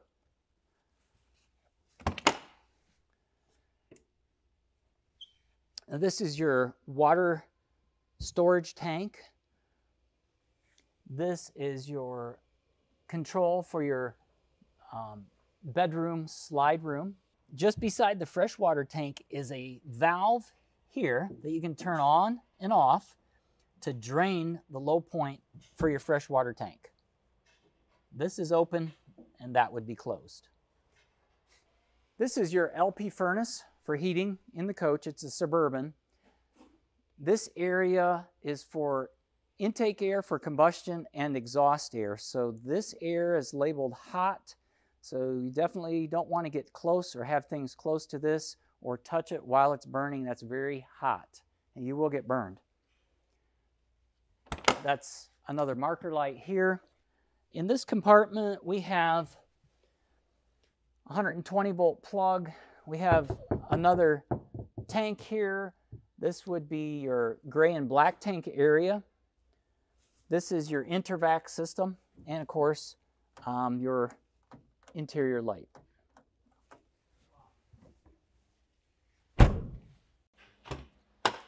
So in the next compartment back, we have our Intervac accessory bag, which we looked at earlier.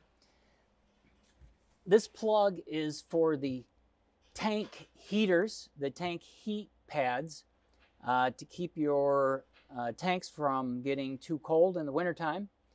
Uh, they're connected to the box here and the relays. On the opposite side, the back here, you've got your light and uh, you'll notice a circuit board here. Uh, that is the control board for your touch panel inside by the door. For your HVAC and all your other systems, uh, that's the control pad for it. In this compartment and this rear one are just storage areas.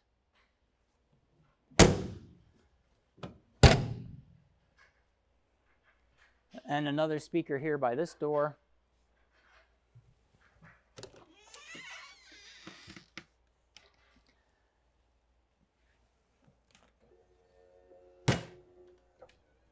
There's a magnetic switch so that when you open this door, this magnet releases here and the steps come out. This door operates and locks in the same way with the deadbolt or the door handle, the same as the front door.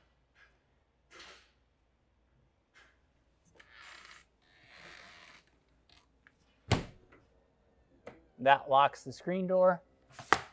And now we just close our door here. There are two latches for this door that's in the first latch now. To make it into the second, you have to close a little more firmly. And now we're in the second latch on the rear door. Or security light or porch light. This is a vent uh, the vent that goes to the inside, this vent can be opened from the inside. Uh, if more ventilation is needed for any of the items that you're carrying uh, in the toy hauler area. So if you need to keep that ventilated, this opens up so that you have air movement in that compartment. We have another marker light here. Um, and then we're going to show you now how the lights should be working in the rear of the coach. At the top center, you've got your camera. So we'll demonstrate these lights, brake lights, turn signals, and marker lights now.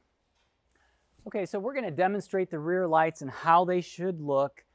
And you want to check your lights uh, front and rear before you travel. Make sure they're all working. So he's going to demonstrate the docking lights first, the two just beside the camera in the top center. So those are your docking lights. The docking light switch for those upper two lights beside the camera are just inside the rear door on the wall. Now he's going to go and operate the other lights from the dash area uh, and the reverse uh, so you can see all the LEDs light up. Those are your brake lights. Those are your uh, running lights.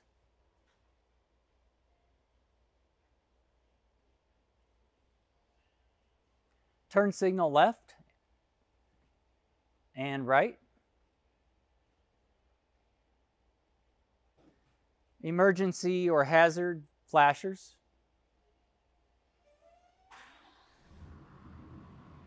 So he started the engine, he's got his foot on the brake, and those are your rear view rear lights, backup lights.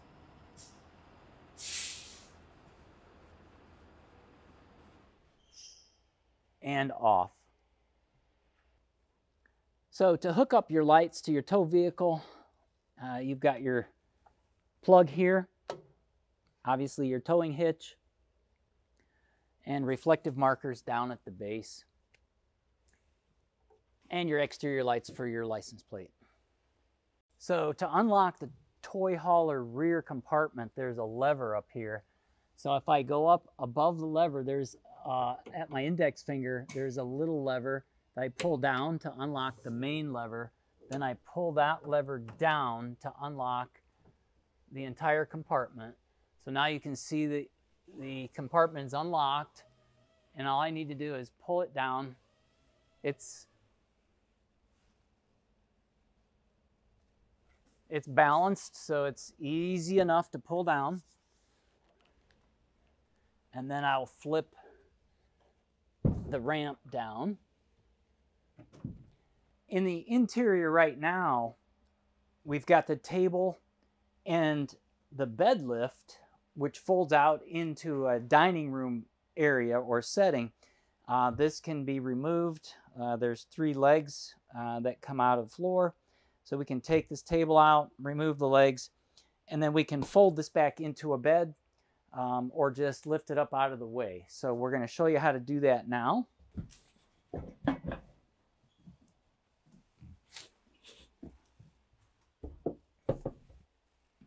So these are installed with uh, three locking pins. So you just turn it until it goes in, turn it to lock, and then tighten it here.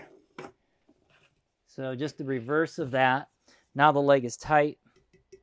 So to unlock your legs, you just rotate counterclockwise.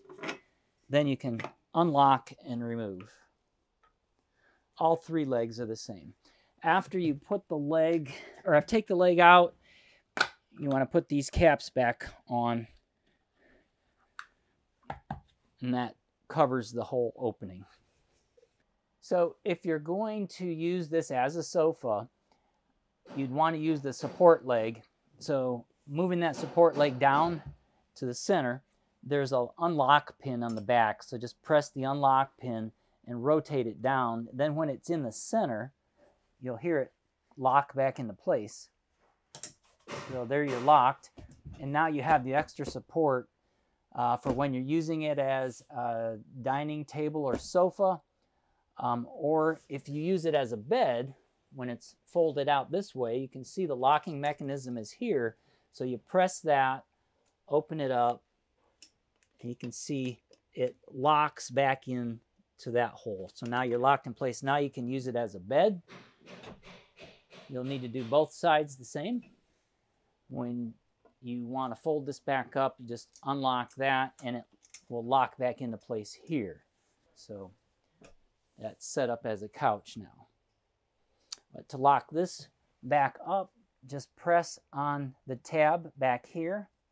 In this spot here, press on that. It'll unlock and then just fold it up and you can hear it click and lock back into place there. You've got two sets of bunks or beds here. Uh, if you want to just lower the one, you would leave the four pins in, which are here. All right, so I want to leave those in if I just want to lower one, uh, the lower one down, and that switch is right here on the wall. So then I would just lower this down. But if I want to lower both of the bunks, then I want to pull all these four pins out of each one of the rails. So that's a rail, pull that pin, pull this one, and the other two on the other side.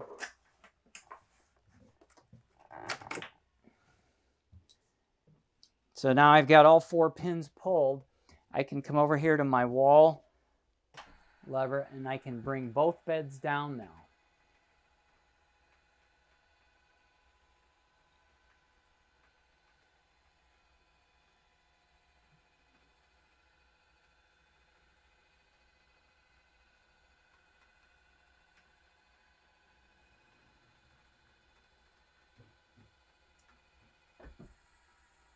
So the micro switch for the top bunk stopped the upper bunk, but the lower one will continue on down.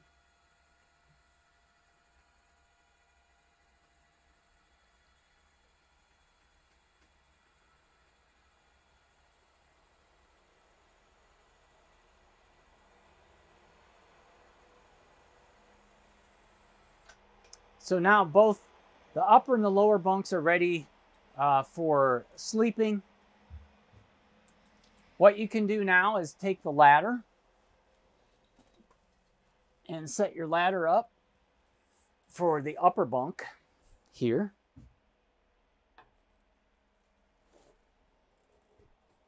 So now you have access to the upper bunk and the lower bunk. Again, we talked about it a little earlier, but before you put weight on the lower bunk, you want to lower these two arms down to support that weight. Uh, whether you're folding it into a bed or if you're folding it into a sofa, then you just want to lower this leg down to support people that might be using it as a sofa or uh, a dining table and sofa. So the reverse of that to store it would be the same you would lower these down to the center and remove the ladder. So you can store your ladder, uh, the three legs, and the table on the top bunk. And then you're ready to stow the bunks. Press up the bottom bunk meets the top and then they both go up and then you'll have to put your four pins in to lock them in place.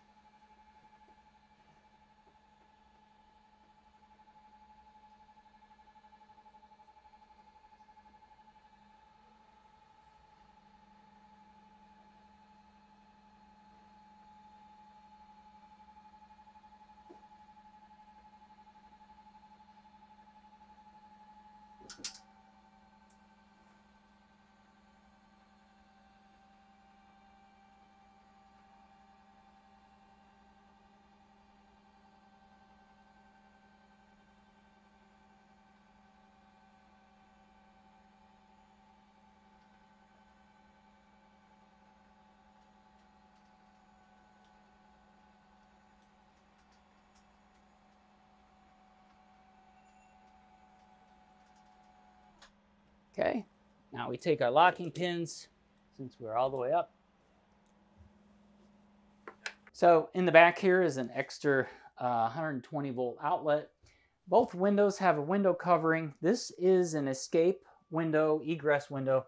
So in case you would have an emergency and need to escape, this is, this is the window you'd want to go out of. Just release the red handles up and go out this way.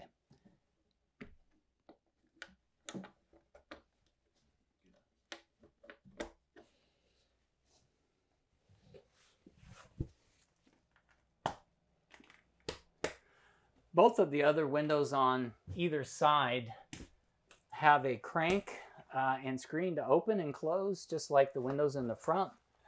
Just open and close here for ventilation. Same with this window over here. If you need additional uh, ventilation by not opening a window, this is the vent that you can open for air to come in without opening a window. It opens either way, front or back, and that allows airflow in this compartment. It has another one just like that up here. So open, closed, or open, closed. Another 120 volt outlet here. There is a dryer vent here if you install a dryer in this area. There are smoke detectors on both sides of the ceiling here. Um, they test the same way as the one in the front. Press and hold the center. You'll hear the tone. You can also see the LED light. If you don't see the LED light or hear the tone, pull that cover down and replace the 9 volt battery. Um, the speakers here in the back are integrated into the sound system. And of course, the uh, fantastic vent can be opened manually with the black bar. Um, it is turning on and off here with the wall switch, just on and off the same way as the one in the bathroom. We have uh, the patio light here. There is a fuel pump here. Uh, the fuel pump is for the auxiliary fuel tank. Uh, dinette lighting, exterior lighting, and step lighting. Door locks are the same as the front door. There's an independent thermostat for this rear area compartment of the toy hauler. So you'd need to turn this on and then you will be able to uh, go to mode and then you can choose uh, to turn on the air conditioner uh, in this rear zone. This is the temperature sensor for the rear zone, and of course this is the lighting control in this compartment. Just above that we have a cabinet for storage, uh, rear radio for playing with these speakers, television with remote in the kitchen. The remote is there, and our lighting control for the entire coach is here that works in conjunction with our wall switches so we can turn lights on and off from different locations. Uh, and that's the junction box for those controls. With more storage here. And of course our fire extinguisher if needed. There is a manual light switch here we can turn on and off. and our door to the front of the coach. So the, for your tie-down straps for stabilizing your cargo in this area or your motorcycles, ATVs, whatever, these are your tie-downs and they can be moved to any one of these locations forward and back. You just have to lift up and turn slightly and then slide it to unlock and then you can put it into any location you like. Just put it into that location, push down, turn it slightly, move it into place, and now you're locked in that spot. Again, basically just lift, turn, slide, and move it where you want. You have a remote control for the screen on the back uh, up and down. Just press once and the screen will go all the way down. You can stop it at any point and then continue on or go back up.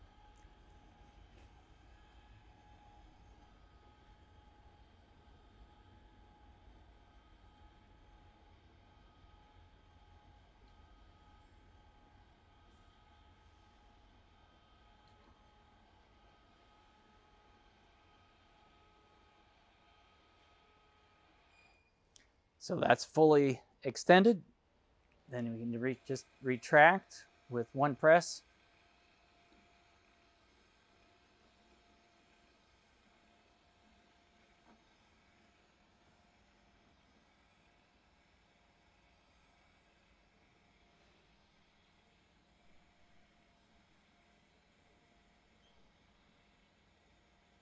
And stowing it is the same. Just flip the ramp up and lift up.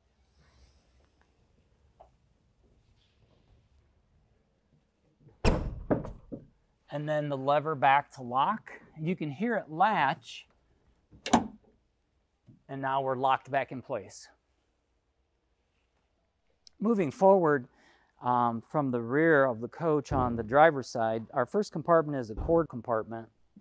So in that cord compartment, you've got the automatic transfer switch and you'll see a gray cord coming from the generator and the black cord from the shore compartment. So when the generator is running and on, the transfer switch connects to the generator and gives you power in the coach. If your generator is not on, the transfer switch will come over here and connect to the shoreline power. Here's the park cable we talked about if you plug this in to a cable uh, connection, um, you'll have cable available in your coach as long as you turn off the Winegard antenna.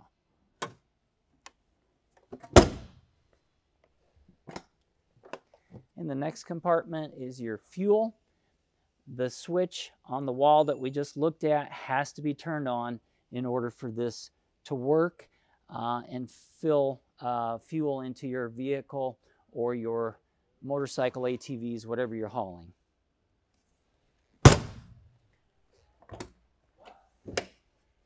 More storage in this compartment.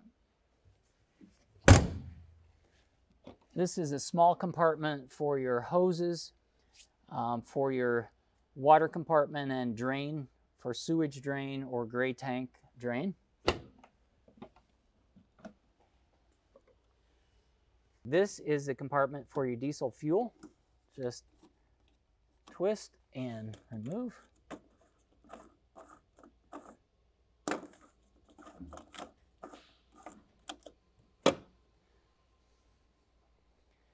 This is the water bay compartment. You notice we left a filter wrench here.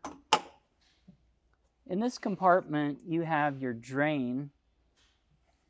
Your drains here for your tanks. So, and they're labeled. The wastewater holding tank, the sewage tank is over there. This is your wastewater. And you'll see that there's actually one here and one here. So this is the valve that you need to open for the forward drain. This is the one for the rear.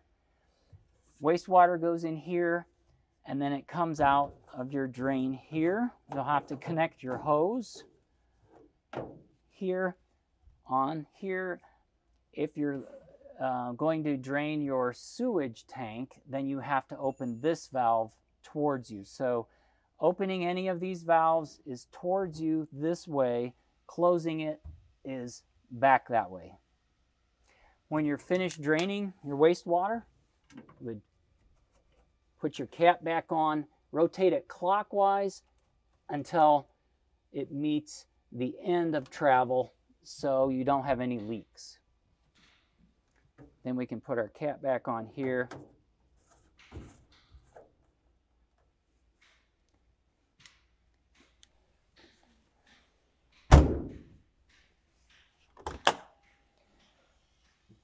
This is our water uh, compartment, that was our drainage compartment in the water bay. This is the filter wrench we were talking about earlier. This is what opens and closes this canister so that you can install your whole house filter so that all of the water that's coming in your coach is going to be filtered uh, from any sediment uh, that might be in the water. To unlock that, just put your wrench in and turn, tightening or loosening. So that would be removing it like this, and then putting our filter in and then replacing it. Then once you've got it replaced, tighten with the wrench. Make sure you don't lose that. There are low point drains here. The blue one is your cold low point drain and your red one is your hot water low point drain. You want to you want to drain your low points if you're going to winterize the coach. After you've drained all the water out of the low points for both the cold and the hot, then you would close them when you're finished. This is the outside shower. This is your water pump switch. The maximum amount of pressure that we want to see in our fresh water connection would be 60 pounds, no more. So we want to connect our hose to supply fresh water here. This connection, it looks the same, but it is for rinsing the sewage tank or the black tank. So when, when we're finished draining the sewer, we can hook our freshwater connection here and rinse the black tank out. If we're doing that, we want to leave the black tank valve open so all the rinse water drains out. Then we put our caps back on when we're finished with those. There is a separate valve here that you can turn fresh water tank fill. So if we're we put that in the up or on position, then the water coming in the fresh connection will be filling the freshwater tank. Once the freshwater tank is full, we'd want to turn it clockwise or horizontal to turn it off because if the freshwater tank is full and you leave it on and there's water pressure here, which there is when you have it turned on from the hose that you're supplying from, it will overfill the fresh water and come out underneath the coach. This again is our water pump. If we are not connected to a water supply, but we have fresh water in our freshwater tank, we can turn our water pump on here. We'll see the light illuminate. And when that happens, we'll be able to turn our water for our outside shower or inside water shower or bathroom, kitchen. And as long as we have our water pump on, we'll be able to have water pumping out of the fresh tank into the house. So that's what you need to turn on if you, you're not connected to uh, a fresh water supply called city connection here.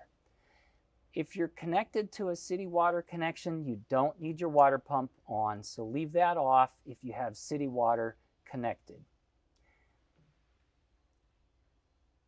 Uh, there's a note up here, if you have a whole house water filter, be sure and remove that filter and the housing and reinstall the housing before running antifreeze. In other words, we don't want you to run the potable antifreeze through this filter. Remove it first uh, because that, then you won't be able to use that filter again.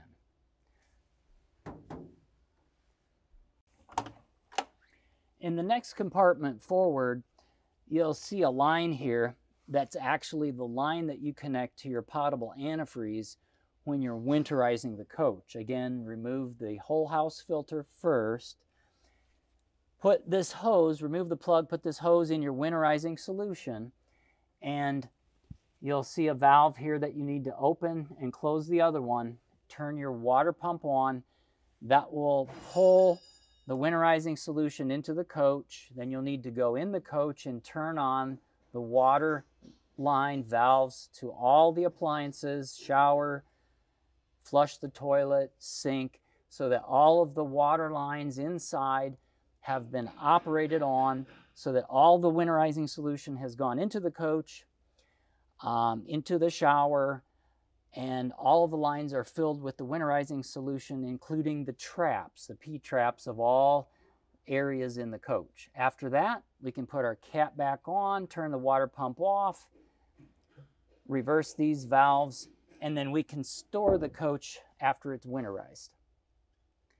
Inside of this compartment area is a water pump here, our water pump, uh, and um, our um, our lift pump. The lift pump needs or is a lift pump operates on 120 volts so that any of the water that comes out of the kitchen sink goes into this lift pump that needs to be uh, powered 120 volts to push that fluid or that gray water into the gray tank. There's more storage in this compartment. We have your Onan generator here. Refer to your owner's operator's manual for service, but this is a, a, switch that you can operate manually, so you can actually turn on your generator from the outside. You do that right here at the switch that illuminates here. If you press it and hold, it'll start the generator, and then the opposite direction will shut it off. It's priming and preheating now. And to turn it off, just press it off. So you would want to run your generator if your batteries are low or if you're not plugged in and you want to run uh, 120 volt appliances in the house. Oil level and um, antifreeze fill are here to check your levels for fluid. With the generator turned on, we still need to make sure that this breaker for the generator power going into the gray cord back at the transfer switch is actually turned on or up. If for some reason it's tripped, it'll be down and off.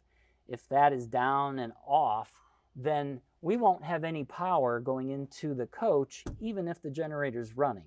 So if you're going to check, make sure that once it's turned on, that that breaker is flipped up so that you have the power from the generator going into the house.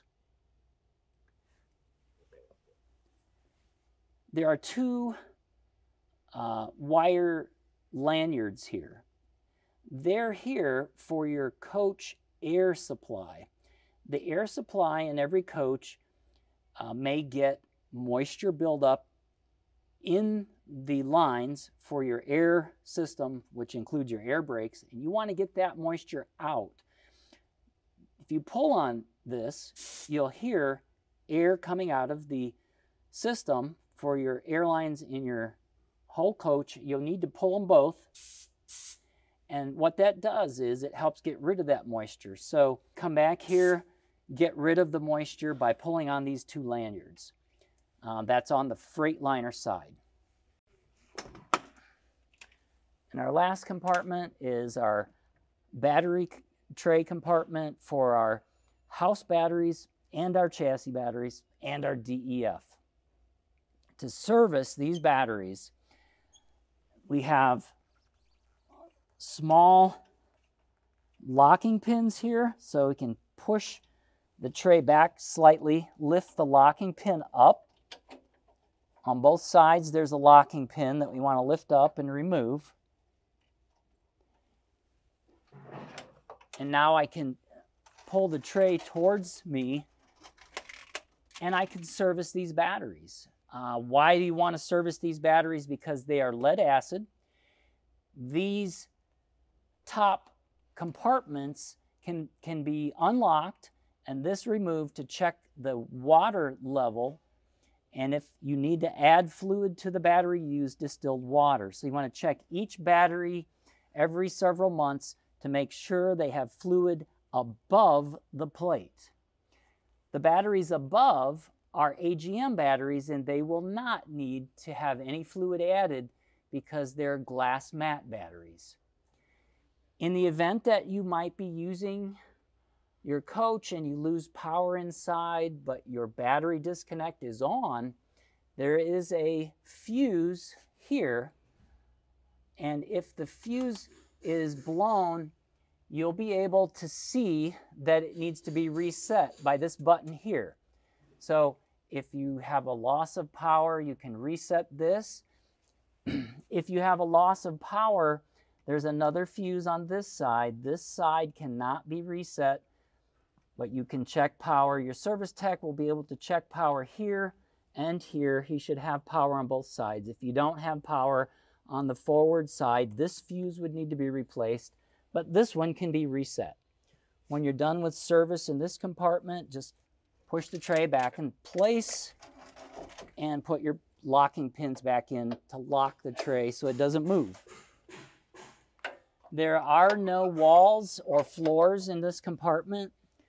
That's why we have a little dust here, but there, there can't, this cannot be a closed compartment because uh, there are certain gases that may emit from these batteries that needs to go into the outside atmosphere air.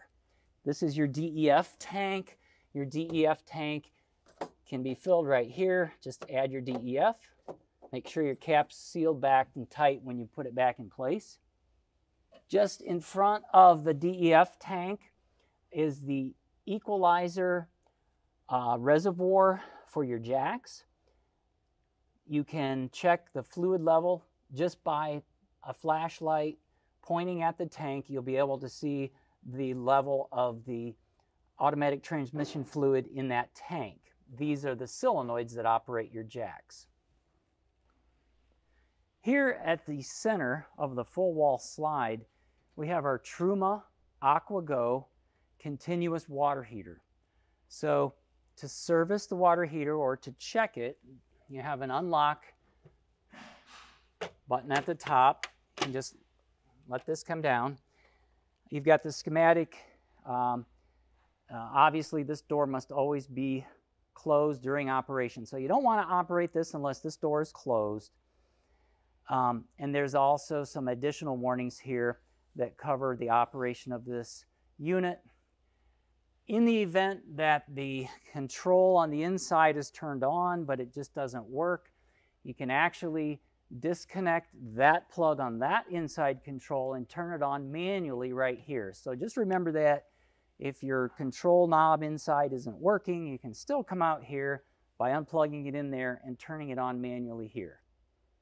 This operates on LP gas, so you want to make sure if it's not working that you have LP in your tank. Right now we have the slide room moving in and we always want to run the slide room in or out when we're on our air ride suspension.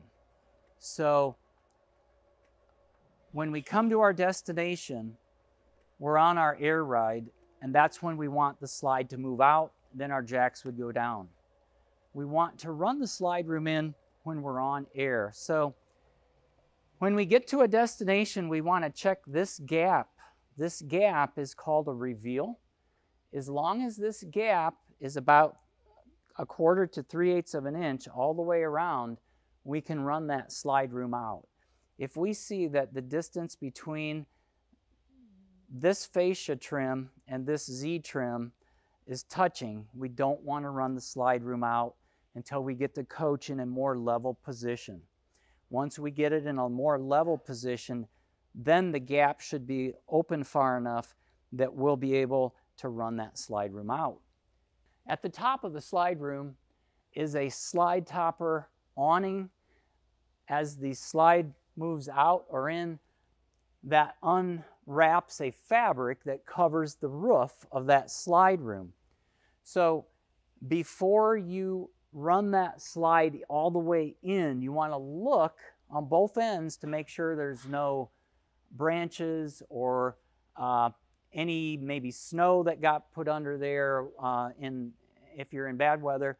Just make sure that nothing is blocking the movement of the slide as it goes in underneath the fabric, between the fabric and the roof of the slide topper. That's just going to ensure that uh, when you close the slide, nothing is going to get wrapped up in that fabric and damage your awning, your slide topper awning, or keep it from going all the way in. This is the camera that is for uh, this side of the coach facing to the rear when we turn our left turn signal on. And again, the mirror adjustment, if we need to make uh, uh, a whole adjustment on the entire uh, rock forward or back of the mirror or side to side, we loosen the two um, Allen wrench nuts here, make our adjustment, and then retighten.